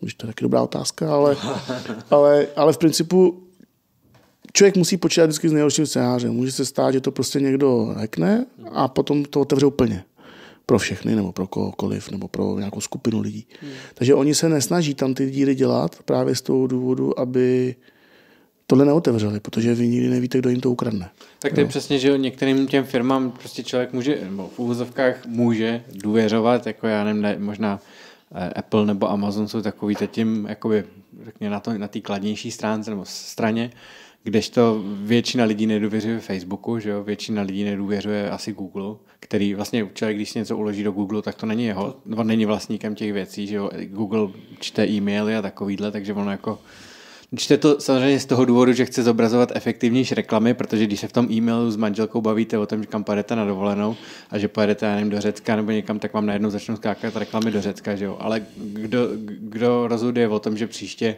to nebude, nevím, něco, že mluvíte proti straně nebo proti nějakému nevím, nějakému generálovi tam nebo někomu, tak prostě vám nestanete záporný budíky. Jasně, no. Hmm. Jako v Číně je to dotažený do takového extrému, jako že když máš jako blbý social scoring, tak prostě nemůžeš cestovat. No. Hmm. Jo, tak je to vždycky, jak už jsme to slyšeli moc krát, no, dobrý sluha, špatný pán. No. Hmm. Samozřejmě to dává nové možnosti, to je jako bez zesporu pravda. V tom digitálním světě, ať se to komu líbí nebo ne, pokud ho využívá, tak tam zanechává digitální stopu, to tak prostě je. Řekl bych, že tady v Evropě jsme na tom trochu líp, ač to GDPR je z ohledu jako kontroverzní téma, tak ta ochrana osobních údajů tady myslím si, že je mnohem jako na lepší úrovni třeba než ve státech. No, to Takže tady prostě to nutí firmy zamýšlet se. Já myslím, že to hlavní, co to přinese, je, že se člověk fakt zamýšlí, jaký data třeba schromažďuje, nebo jak je využívá, nebo jak by mohly být zneužity. Jo. To, podle mě to je dobrý mentální cvičení. Jo protože dokud se nic nestane, tak si to člověk nepřipouští. A primárně já věřím tomu, že drtivá většina firm ty data používá proto, aby zlepšili zákaznickou zkušenost nebo vylepšili to, aby mě třeba nevadí, když mi skáčou reklamy, které mě zajímají. Jo. Když tam jsou prostě věci o 3D tiskárnách a dronech, tak jsem docela rád, jo. Když to nemusím hledat nikde. Jo. To je v pohodě. A ten problém by nastal právě, kdyby to někdo otočil a je to o důvěře v ty firmě samotný, já v principu mám mnohem větší obavu z toho, co lidi jsou schopni na sebe říct sami. To si myslím, že jako to je hmm. snad horší. Jo, že prostě podle toho, co běží na Facebooku, by skoro člověk poznal, jestli má je volný byt a může pozvat zloděje. A je to prostě absurdní, jo, že, že lidi na sebe řeknou fakt jako úplně všechno. Hmm. A druhá věc je i takový to osobnění. Jo. Těch dat je tam prostě tolik, že má smysl v nich hledat jenom když to má smysl. Hmm. Je to extrémně drahý. Eh, ne každá firma si může dovolit ukázat všechny data, které jako se, mu generují, se vůbec generují. To není to je nemožný třeba jo, v principu u nás jako úplně. Hmm a zpracovávat ty data má fakt smysl jenom, když to má hodnotu. Prostě jinak, jinak jsou to jen data, protože to je tak drahý to dělat, že, že to prostě nemá smysl, když to, když to nemá smysl. Jo. Takže vy si neukládáte, kde, že Pepa v pátek večer tam někde v hospodě ožrál a pak volal přítelky milence nebo něco, to nemáte uložený. Ne, to je jedna věc, ale to, je, to je strašně hezký, jak to řekl, jo, protože... Počkej, ale tohle by mělo smysl, to může vydírat Pepu, že? jo, jo, no právě, že? Počkej, neblbni, ty to jsou dobrý data. Jasně, no. A to je přesně ono. Tak asi bude dobrý, aby jsme tě k tomu nepouštěli. Eh, takhle spíš jde o to, že uh, fakt je to o tom, že ještě je tam jedno hledisko, že, že opravdu tam nesedí lidi, kteří jako podle mě někde jako čtou ty data. Jo. To dělají prostě všechno stroje. Jako ta myšlenka, jak ty si řekl, že někdo Pepa kouká, že to se prostě jako neděje, to prostě hmm. není možné. Ty dat je tolik, že já nevím, kolik toho třeba je generovaného, ale třeba myslím si, že v té naší malý sítě relativně, která tady jako je, já nevím, se tam může generovat miliarda mesíčí denně, prostě kdo by to chtěl jako, hmm. jo, to, to, ne, to, začít zpracovávat nemůžeš jenom fragment, jo, to prostě buď všechno nebo nic a to ne, nemá smysl prostě, to je tak drahý, že ani, třeba tam ani nic nenajdeš, jo. Hmm. Takže ta paranoje není úplně na místě. Já nevím, já nevím úplně, jestli to takhle, jako já ji třeba nemám úplně a spíš si hlídám to, eh, jakoby, jaký firmy používám, jaký portály používám, prostě se do všech nepřihlásím, ty na internetu jsou. A co kam pouštíš? A co kam pouštím, jaké informace a jak silný hesla ještě používám. To je pro mě jako dost důležitý. Tohle lidi strašně podceňují, podle mě. Podle mě hrozně podceněný. My jsme teda bohužel už měli v minulosti pár jako hackerských útoků, kdy nám třeba prostě obsadili servery a teď trvalo den, než se to celé hmm. jako zpracovalo, ale dík, my tam máme desítky webů, že? takže to bylo trošku komplikovaný hmm. a, a, trvalo to, jako dalo to dost úsilí a od té doby prostě se pravidelně mění hesla a hesla jsou prostě náhodně generovaný, prostě to, to si nikdo nezapamatuje, takže člověk si musí jako to někam kopírovat, nebo to je to jako, jako ta no. bezpečnost podle mě je hrozně důležitá těch hesel. No, to je tam jako ještě jako je paradox, že my všichni o tom víme, jako že máme mít silný hesla a všechny ty informace, že nesmíme dávat do toho telefonu, protože jakmile to dáme do telefonu, tak to může jako někdo přečíst. Na druhou stranu se s tím jako nelámeme hlavu prostě. No. Bereme to jako, že to je prostě přirozená součást toho digitálního prostředí. Jo, tak obecně vždycky vítězí komfort. Jako to se nalhávat prostě většina lidí prostě radši se dá jednoduchý hesla, aby se snadno přihlásila na druhou stranu trošku se to jako mění, myslím si, že už to lidi vnímají, my samozřejmě vnímáme uh, to prostředí, který se čím dál jako je čím dál agresivnější, myslím to útočný hmm. prostředí. Hmm. Takže těch útoků je čím dál víc, jsou rafinovanější, neodehrávají se už lidma, odehrávají se prostě robotickýma kódama, který mají spoustu času a dokážou se uh, dokážou pracovat pořád, nepotřebují přestávky. Hmm. Takže to prostě se, vidíme to, děje se to, proto přicházíme se službama, který mají trochu těm uživatelům pomoct. Pustili jsme sekuritu přímo v síti, si můžete koupit. Není to moc peněz, je to jedno kafe prostě a máte jistotu, že takový ty základní věci, které z toho z internetu můžou přijít, takže vás to proti tomu ochrání. Hmm. To si myslím, že je skvělá věc, jo, protože opravdu mm, běžný uživatel spoustu věcí vůbec netuší a není schopný odhalit. Dneska ty útoky jsou tak sofistikovaný, že... Jsou ještě nějaký třeba typy, kromě dobrých hesel, co jak jako dodržovat takovou, řekněme, správný přístup k těm technologiím, jako k té bezpečnosti? Mě napadá třeba ještě možná nepřihlasovat se na Wi-Fi, kterou neznám. Jo, to je docela častý jaký důvod, co, co se jako stane, že, že se přihlásíte na nějakou cizí a tam vás někdo může jako odchytat a, a pak, eh, když se tam přihlašujete do nějakého portálu, když to odchytá, tak to vlastně ví to heslo, že ho může zneužít. Hmm. Eh, zvláště pokud ta Wi-Fi není zabezpečená, což se hmm. často děje. To se dělají takový ty testy, no, někdo vám tady přece vyprávěl, že se dá, napíše se na jedna Wi-Fi, na jeden Wi-Fi 1, pak se napíše Wi-Fi 1 rychlejší a všichni se připojí ja. na tu rychlejší, že jo, která, je, která sbírá právě tyhle ty data. No. no, no. Takže to, určitě takové doporučení jsou. Uh, silný hesla, to je základ, podle mě. Od toho se musí odjet všechno, protože jak hmm. máte slabý, jak to je snadný tomu útočníkovi. Podle mě. Neklikat na věci, které neznám. Hmm. Mailu, principu. Hmm. No a vlastně vznikají úplně i nový odvětví, jo. Jak, jak, vznikají vlastně senzory. Nedávno jsem četl nějakou kauzu, kdy, kdy snad tuším Las Vegas nebo někde přes uh, nějaký senzor v akváriu hackli celý systém. Že? Tak, Takže uh, to je prostě o tom, že vždycky ten nejslabší místo, který si dokážete představit, tak oni mají spoustu času na to, aby ho našli a, a využili. Přesně tak vlastně vznikly ty, ty útoky, teda konkrétně u nás naposled, a to bylo přes nějaký úplně starý web, který nebyl dlouho aktualizovaný a ani jsme nevěděli, že to tam na tom serveru je a prostě... Takhle to přesně vzniká, no. Hmm. To je přesně ono. Že oni to místo prostě najdou. Oni mají čas, spoustu času. Hmm. Na rozdíl od vás. Ono je pak druhá věc, že eh, teďka v těch Apple zařízeních na tom, po, po, po tom posledním updateu, tak tam člověk, když se podívá do aplikací, co jako tím aplikacím vlastně povoluje za informace, kromě jenom geolokace, tak dává třeba přístup i k fotkám nebo ke kameře. A tak teď už si to jako můžeme jako relativně dobře jako nastavit, co tím aplikacím jako dáváme za informaci, že jo. Ale dřív to takhle nebylo. Dřív prostě, když jsme nainstalovali tu aplikaci, jak jsme tam klikli jako na souhlasím s podmínkama, nikdo je samozřejmě nikdy nečet, že jo, pak jako záleželo na tom, co ty aplikace s těma datama dělaly a většinou ten Google to pak přeprodává prostě buď dalším jako prodejcům reklamy, nebo ten si to zrovna nechává u sebe, ale většinou ty aplikace já si pamatuju, že jsem čet podmínky nějakých pitomý svítilny jako do, do iPhoneu a tam bylo jenom, že mají přístup k fotkám, eh, ke geolokaci, prostě takovým nesmyslům. Mm. A pak to bylo jenom jako platforma na prodávání těch geolokačních informací, že jo. Mm. To je přesně ono, že i v těch aplikacích by člověk měl nějak přemýšlet nad tím, kdo je vydává a třeba si i zkusit vygooglit nějaký jako recenze na to a, a nějaký jako hodnocení, jo, protože to není přece samozřejmé, že to tam je, že to je poctivý produkt, který nemůže škodit. Jo. Hmm. Ten Apple tu kontrolu aplikací má poměrně dobrou, přesto se to třeba stát může, věřím tomu. Hmm. Je, to, je to běžný, no. Víte, právě takhle, eh, prvo, proč se o tom bavíme, my jsme ještě před začátkem posílali nějaký takový ten článek, který byl na, na New York Times, oni získali dataset asi 15 milionů telefonů, mám pocit, a u každého toho telefonu zkoumali právě geolokaci, kde se ten telefon po nějakou dobu nacházel.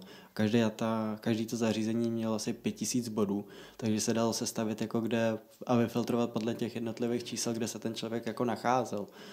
A bylo zajímavé, že právě tenhle ten dataset když si to člověk jako představí, že prostě obrovský dataset informací jako zmizel nebo někdo ho získal. Takže to nebyl žádný hackerský útok nebo špionáž. Byly to prostě normálně legálně koupený informace, data, které bychom si mohli, kdybychom měli dostatek prostředků, tak si to můžeme koupit sami, že jo. Hmm.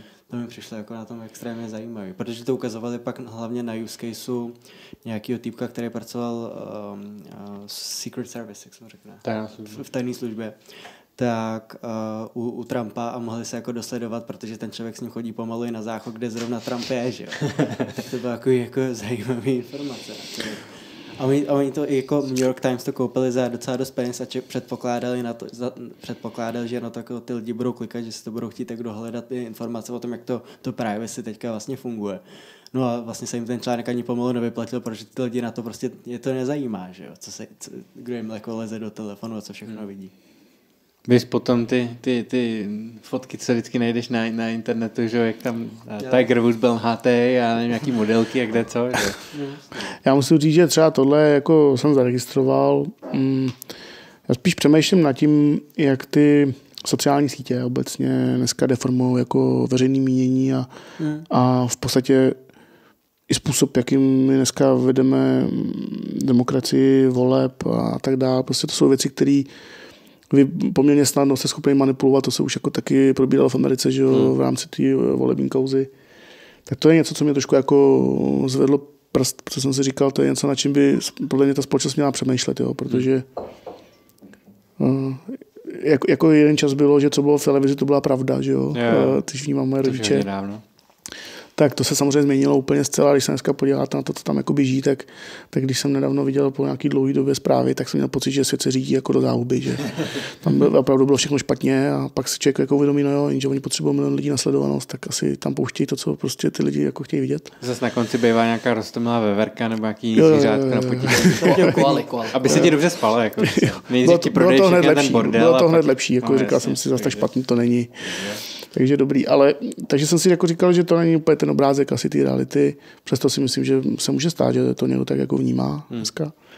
A ty sociální sítě nemyslím si, že jsou na tom jako líp, protože tam vlastně servírují nějaký feed, který vzniká v nějaké logice a v principu pokud by byla chybná, tak tak, tak tam může vzniknout nějaký Zrovna jakoby u těch televizí je to možná jednodušší v tom, že když člověk jako nechce poslouchat, že svět se jako řídí do, zá, do záhuby, tak přestane koukat na Primu nebo na Dovu nebo na Barandov, že jo, a může to prostě přepnout, může se dívat, já nevím, na, na sport.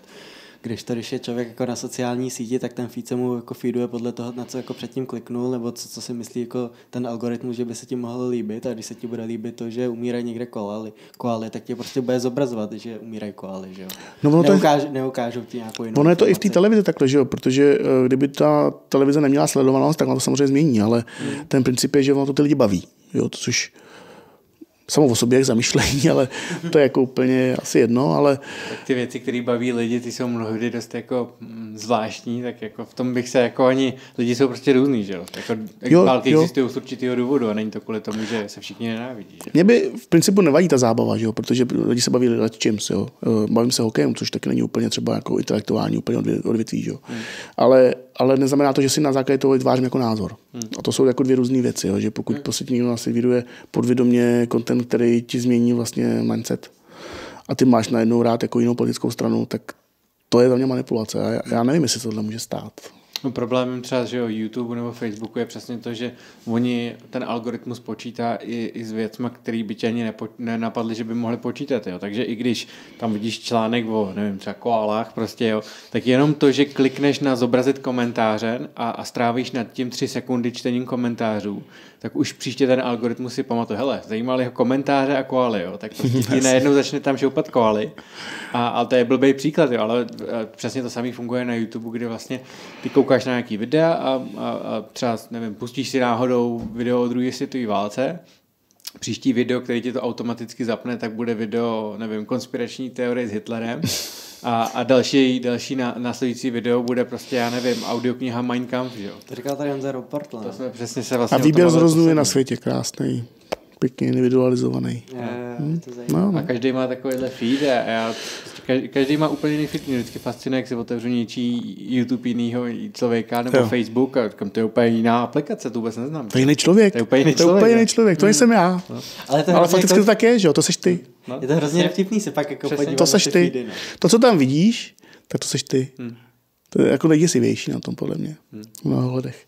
A druhá věc, která mě v souvislosti s tím napadá, je, že eh, je vliv na jako vůbec jako na mm, psychiku člověka. Jo, to, jak se stává, často teďka jsme z toho svědky ohledně té jako kyberšikany, že, jo, že, že ty lidi ten virtuální svět vnímají vlastně relevantněji než ten jako reálný.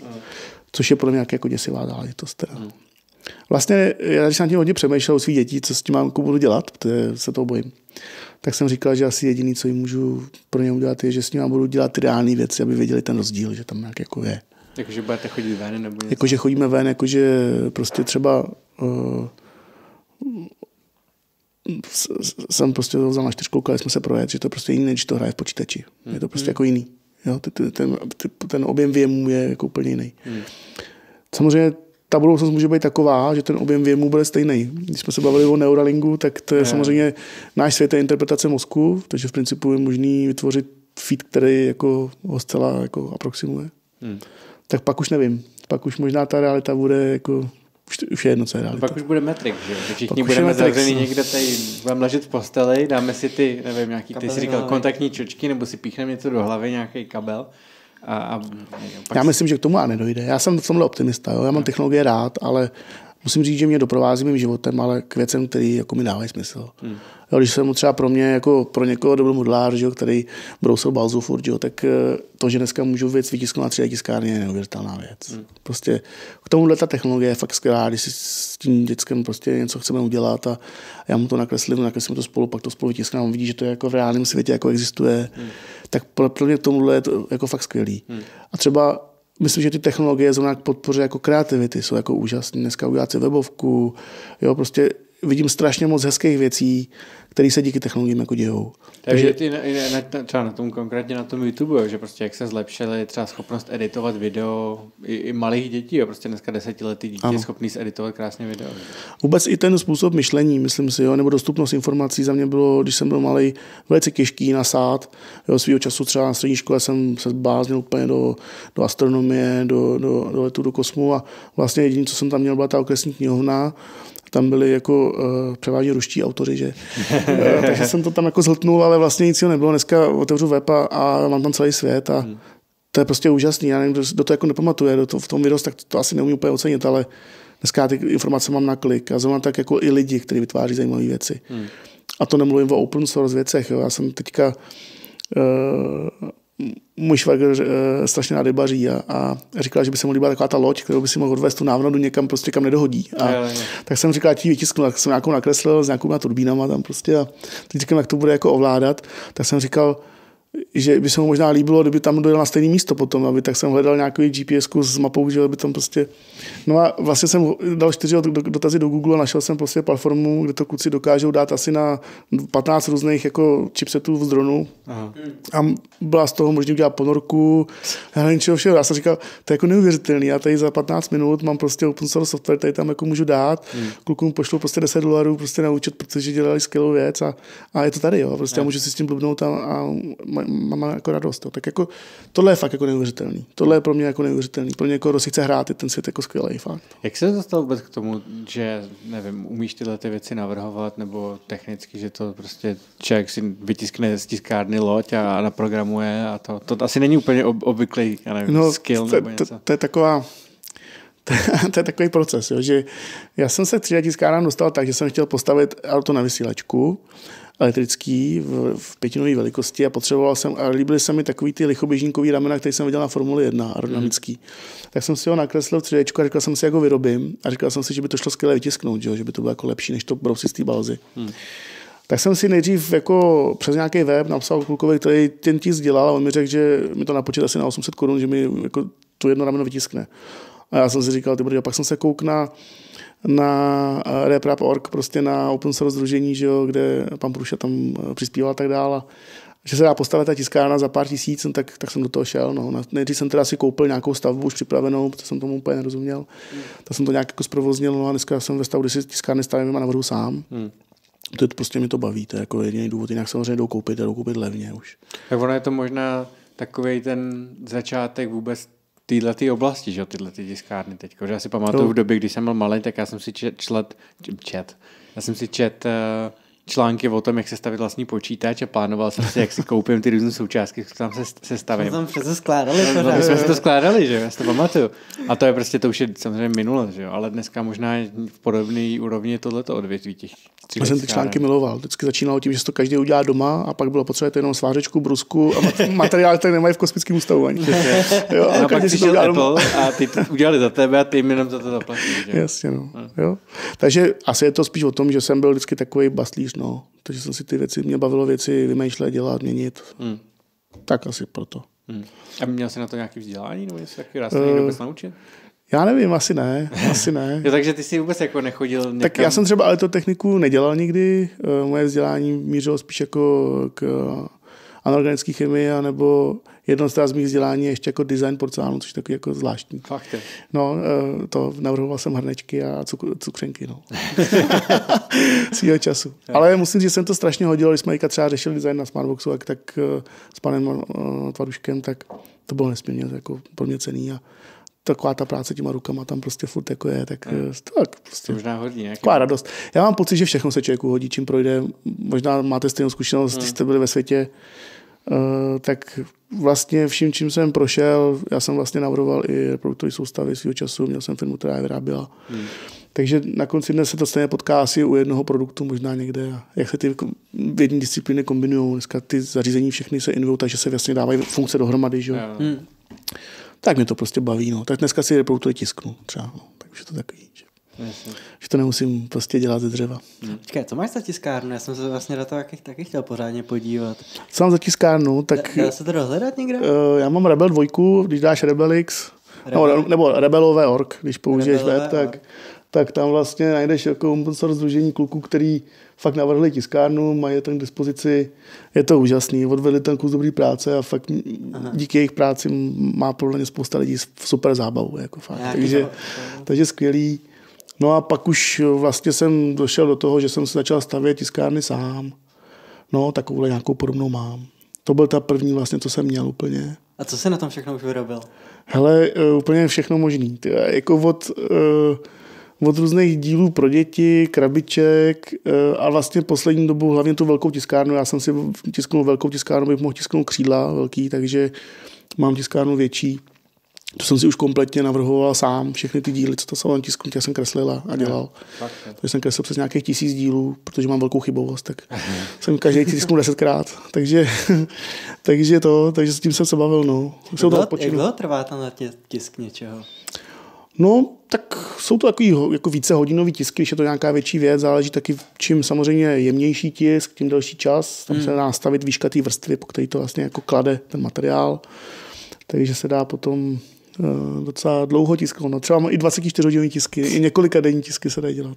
Já jsem jako zatím tohle to téma těch 3D tiskáren, tak se mi úplně vyhýbalo, jakože jsem se hmm. na to vůbec jako ne, neměl čas podívat, jenom jsem zaregistroval, že tady existuje nějaká česká firma, která... Jo, jo, to, je, to je zázrak, to je úplně neuvěřitelný. Obrovská pokora fakt, jakože. Hmm. A to se klade plast, jo, ten materiál. No je to plast, ale třeba teďka jsem viděl, já jsem byl pro materiál a, a, kluci mi tam, byl takový šikovný kluk, který to fakt bavilo, tak jsme se tam bavili a on mi říká, hele, mám tu nějaký nový plast a vevnitř jsou normálně kovový jako piliny s nějakým pojivem, z toho vytiskneš zubatý kolečko, který je o 20% větší a pak ho dají do žíhací pece, on se speče a je z toho kovový kousek. Fakt, je. Normálně kovový kolečko.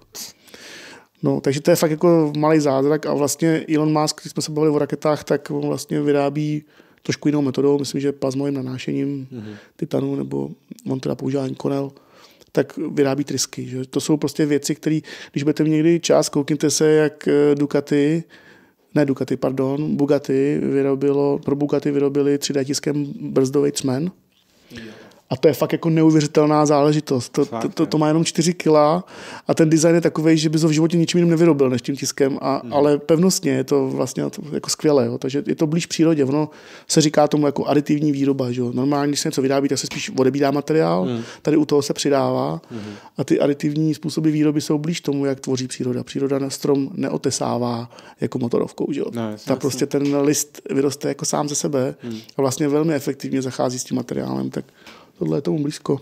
Co- Proč bychom to mohli najít? No, to už tam bylo. Už to tam bylo. To je Ty- ono. ty Tak to break. vypadá vytištěný.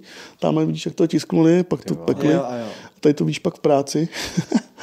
Ale teda vidíš, že to, ten design je úplně jiný. Že? Když ten konstruktor má jakoby možnosti té výroby neomezený téměř, tak vidíš, že je schopen udělat design, který je jako, myslím, že já nevím přesně teďka, abych nelhal, o kolik kilo to bylo lehčí ten jeden třmen, ale myslím, že to bylo víc jak polovina, jo? že, že ta úspora toho materiálu byla obrovská.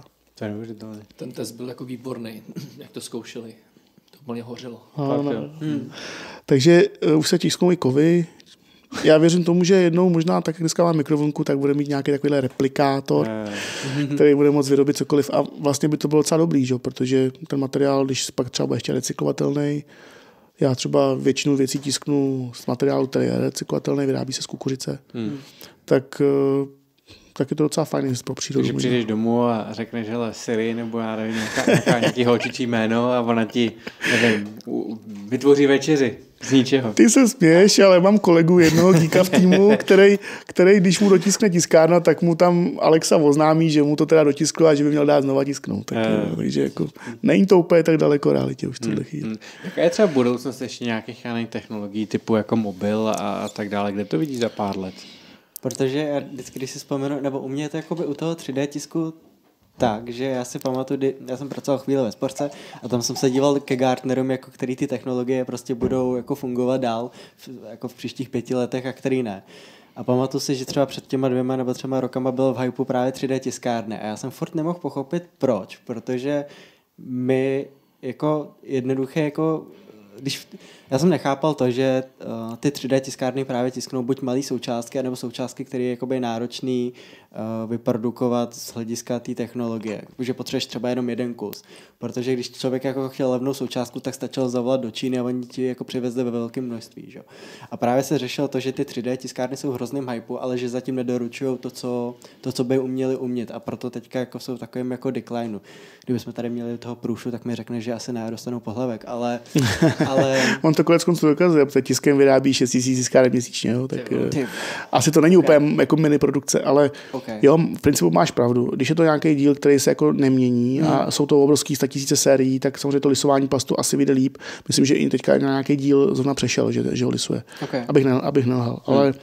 Ne, ale ale... spíš, spíš mi jde o to, jako, že kam se jako budou posouvat ty technologie třeba za pět let, protože uh, ty Gartneři jako hrozně hypovali ty 3D tiskárny a zatím jako je hezký jako udělat si nějaký takovýhle model, ale to využití je furt jako to je věc jako technologická. Jo? Já když se podívám, hmm.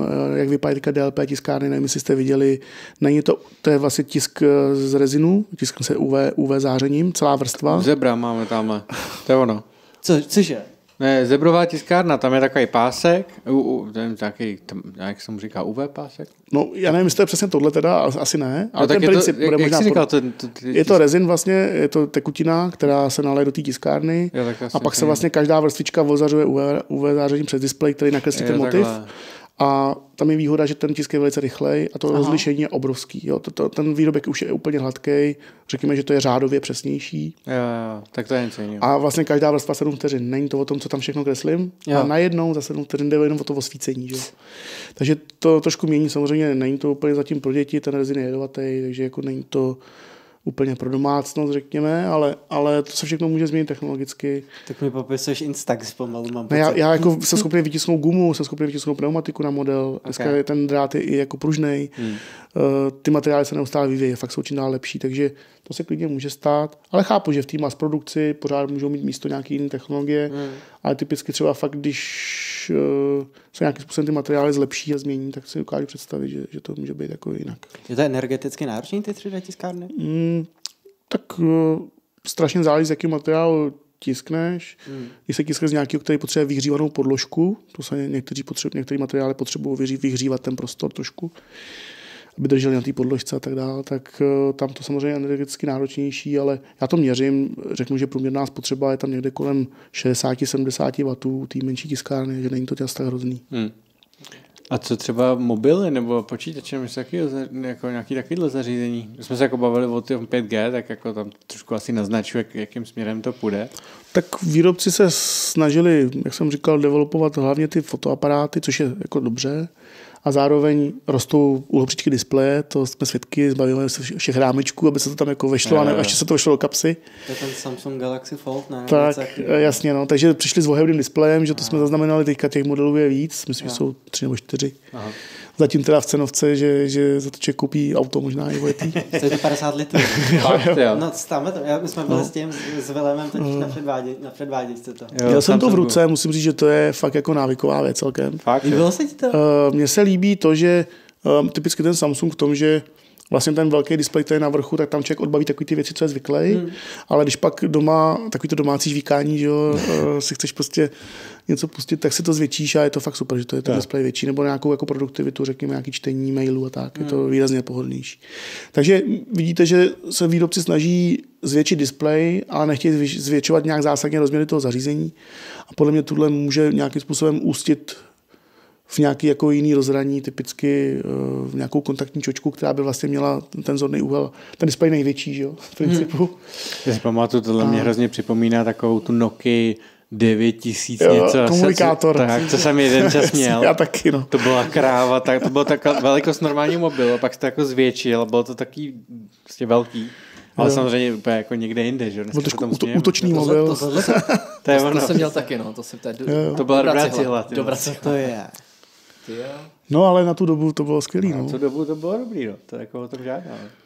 Takhle, stálo to taky jako auto teda, to je pravda. Takže to, to, se, to, to, je na tom to, to, to vtipný, že, že prostě dřív tyhle ty telefony, já nevím, před 20 roky nebo před 15, tak stály prostě minimálně stejně, jako stojí dneska nejlepší iPhone, nebo jako dobrý iPhone. Ale je to úplně někde jinde. No, jasně. A hlavně ta hodnota těch peněz je úplně někde jinde. Ta technologie opravdu se vyvíjí tempem, který je neuvěřitelný. Hmm. A když si vemu, co měl můj počet před deseti lety a co, co dneska, tak, co dneska mám v kapse v podstatě, tak to je úplně jako, to je úplně jinde. Hmm. Je to, je to zvláštní, no. Takže já spíš bych čekal, že se budou nějak měnit, uh, budou jsou nějak ty věci, ta rozšířená realita může dát tomu zařízení úplně nový význam, že třeba ty věci některý bude chtít sledovat, jakoby, i když třeba jde po ulici, hmm. se mu tam budou skákat nějaký třeba, já nevím, Foursquare udělá aplikaci, že tam uvidí, jo, tady se jde jídlo dobrý, jdeš kolem, jo, hmm. takže... Uvidíš pět hvězdiček. Což v telefonu v kapse jde blbě, no, takže jasně. jasně jde to audio, audie, možná se přijde nějaké jiné možnosti, ale ale čekal bych, že se to může stát. Druhá velký rozmach eh, zaznamenávají hodinky, hmm. což jako mm, pro nějaké odbavení základních věcí jdu někam pařit a, a nechci si brát telefon, chci být jenom, když potřebuji něco zavolat si nebo odpovědět na SMS, může být vlastně docela fajn. Já už jsem se naučil i v autě třeba fakt jako diktovat, to funguje fakt dobře, hmm. takže ani moc nepíšu. Kdo ví, jak se to jako změní, hmm. ale ty displeje pořád myslím si, že hrajou velkou roli když si vždycky všichni mysleli, že se to neskvalitní, tak musím říct, že když jsem teďka viděl cest, tak jsem měl pocit, že se mnohem větší revoluci čekají zobrazovací tele, monitory, televize. Nevím, jste chytli mikroLED mm, ne, technologii. Ne, ne, ne. ne, tak jako máme dneska je OLED, což je organická ledka, tak oni vlastně přišli s technologií, která je známá, mm-hmm. anorganická ledka, to jsou ty ledky, které blikají v těch přístrojích všude a tak, mm-hmm. které jsou ve strašně odolné, vydrží strašně moc. A oni přišli vlastně s univerzálním panelem, ze kterého si můžete poskládat libovolnou, je to 30 na 30, myslím, a libovolnou obrazovku. Takže mimo to, že to mění jako úplně delivery, že to přijde v krabice, poskládat na sobě, ty se tam prostě nějak zavěsíš a, a jako je to, Aha. tak eh, vlastně je dobrý, že si teďka koupíš třeba 55, pak by si chtěl 65, tak si dokoupíš panelky a to, takže mi se strašně líbilo, protože to mění vlastně odvětví úplně. A tam nejsou jako hrany mezi těma panelkami? Právě, nebo? že prej ne, no. Já jsem to naživo neviděl, já jsem tam nebyl, ale prej tam nejsou hrany a normálně to dáš jako natěsno k sobě a přidáváš další jako moduly. Tak ono je pravda, že na tu televizi málo kdo kouká z, já nevím, z 10-20 cm, že by viděl ten no, detail. No, teď, to, teď nevím, jak, tady to trošku vidět. Teď, teď, nevím teda, jak to mají, jestli, myslím, že teďka prodávají teprve jako ještě už standardizované rozměry. Hmm. To, to je zajímavý, to. Mikrolet nahradí všechno. Uh, takže to jsou fakt jako, to podle mě to bude měnit odvětví televizí jako úplně, protože... Ty bláho, pod- odstraníme televizi a dáme si sem obrovskou stěnu. No. No ta, co teďka vlastně je tak, na takových těch výstavách, má celkem topí, takže myslím, že byste měli vystaráno tady To bychom mohli rádi do starého studia. si představíš ty stov, samotná letka moc nebere, ale když si jich tam představíš ty tisíce, tak no, to fakt něco papkne. Eh, tak asi ekologický to moc není. Ale tohle samozřejmě už je jako jinde, no. Tam je, ta, ta, ta letka je tam hrozně maličká, že? jo, takže A ty jsi zmiňoval ještě v souvislosti s tou virtuální realitou, myslíš, že je možný vůbec vytvořit něco, jako je jako kontaktní čočka, která bude mít, která ti tam bude zobrazovat něco uvnitř? taky se nepletu, tak nějaký takový pokusy už byly. Já jsem něco taky jako zahlíd, ale spíš Ale- jako koncepty, ne? Spíš. jo, ale já si myslím, že zatím je to spíš o tom, jak to vůbec jako připojit a, a z toho oka ven potáhnout vlásek, jo, jako to, to, to jde dost jako blbě optiku. Jako, nebo, Jak to nabíjet možná. takže jako. zatím podle mě to spíš tomu byly blíž jako Google, Google brýle, že jo, který umožňovali, tam měli průhledový a displej a, a přes něj bylo možné na to, na to koukat. To samý byl ten Oculus, co měl, co pak koupil Facebook, jo, jo. ale taky jako docela brzo zavřel, protože na to neměli prostě use case, že jo. Prostě to nikoho nezajímalo. Jo, jo. Ale Oni to, oni to, ne, Oculus už není. Oculus. Už není, není. Já, teď to patří Facebooku. No, oni, to teď právě, pro- oni už to ne, teď prodali nebo produkt? zavřeli. Ne, Já myslím, že jo. ne, stoprocentně ne. Teď teďko vydávali produkt. Teď to Ma- Marek z- někde ukazoval. ne? já To fakt nevím, že jo? nevím, přiznám se, že nevím. že už to. Ne. Ne. Ale přišlo mi to jako fakt zajímavý, že já si myslím, že ten produkt třeba ještě nebyl úplně zralý i na, z hlediska té konektivity, jo, která nebyla tak rychlá, protože ta rozšířená realita, potažmo virtuální právě vyžaduje poměrně velké datový toky, takže to může i přijít ruku v ruce. Ono vždycky ty produkty se jako objeví, nějakou dobu jsou, ale nejsou úplně ještě dobrý, že to ty uživatelé neakceptují a pak vždycky najde nějaký skok, kdy se jako něco změní, co, co znamená, že co způsobí, že ten uživatel vlastně už je s tím OK. A v tu chvíli je tam obrovská adopce. Jo, toho, Mě, mě jako často se stane, že mi někdo známý vyzkouší nějaký jako VR, jako vi- virtuální realitu, jako hru nebo něco. A říká, ty vole, to si musím, musíš koupit, ve, to je budoucnost, že to, je prostě, to, to, to tady budeme mít všichni, že jo. Ale ono asi jako, jak to má člověk na hlavě, jak, jak je to taky, jako, že ti to pohltí, tak je to asi... Já nevím, mě to nějak nepohlcuje. Teda. Musím Ne. říct, že zatím jsem se setkal se zařízeníma, že jak jsem zvyklý na ten vysoký rozlišení v tom mobilu a tak dále, tak mi to vždycky přijde všechno jak Minecraft. Jo. Prostě takový jako zubatý. Zubatý, no. No na Ale druhou stranu jako je, je to progres, že, že, jako, že lidi jsou schopní vypr- Ne, vyprodukovat něco takového. Že? ono to samozřejmě jde dělat i ve vysokém rozlišení, pokud člověk si nese počítač na zádech. No, už Jo, nedávno vyšel nějaký docela pěkný článek, jak si vlastně člověk může prolídnout výrobní linku nebo svůj dům, že prostě mu jako batoh, tam má počítač vlastně takový lepší zobrazovací zařízení jako v HD. A Mhm. Samozřejmě jde to, ale do těch bydlí to dát je asi ještě příliš komplikovaný. Hmm, hmm. Nebo možná drahý. Jo, možná Asi. drahý. Jo, tak budoucnost zní růžově. Dneska jsme probrali jako hodně věcí. Hlavně ta bezpečnost, teda to, to, jako, a to je možná něco k zamyšlení. Určitě je to něco, co by člověk neměl podcenit, ale zase to není něco, čím by se měl nechat omezovat. Hmm. Podle mě digitální revoluce je o tom, že to má být zábava, má to být hra. A lidem, kteří jsou tvořiví, to dává podle mě úžasné možnosti. Hmm. Tak to vidím já. Většina těch lidí to právě tvoří kvůli tomu, že se tím baví. Přesně tak, věřím tomu. No. Hmm. Hmm. Normálně utekla více jak hodina a půl. Hm? Tak jo. Ani jsem si to neuvědomil. Já jsem si to hrozně užil, teda s váma. to Super, ale moc, taky. moc děkujeme, že jsi dorazil. A bylo to hrozně zajímavý téma. Kde ti lidi najdou, jestli no. budou hledat? Eh, My tady máme LinkedIn, že otevřený tvůj. LinkedInu určitě, já moc teda na sociální síti Facebook nejsem, takže To, tam, se, tam, to jsme vyčetli. To jsme z toho pochopili, takže tam mě nenajdete asi, ale na LinkedInu, na LinkedInu jsou. No, jsem, jsem, tak, tak když ať napíšu. Super, ale moc děkujeme, že jsi dorazil. Taky díky, mějte se Ahoj. hezky. Ahoj. Ahoj.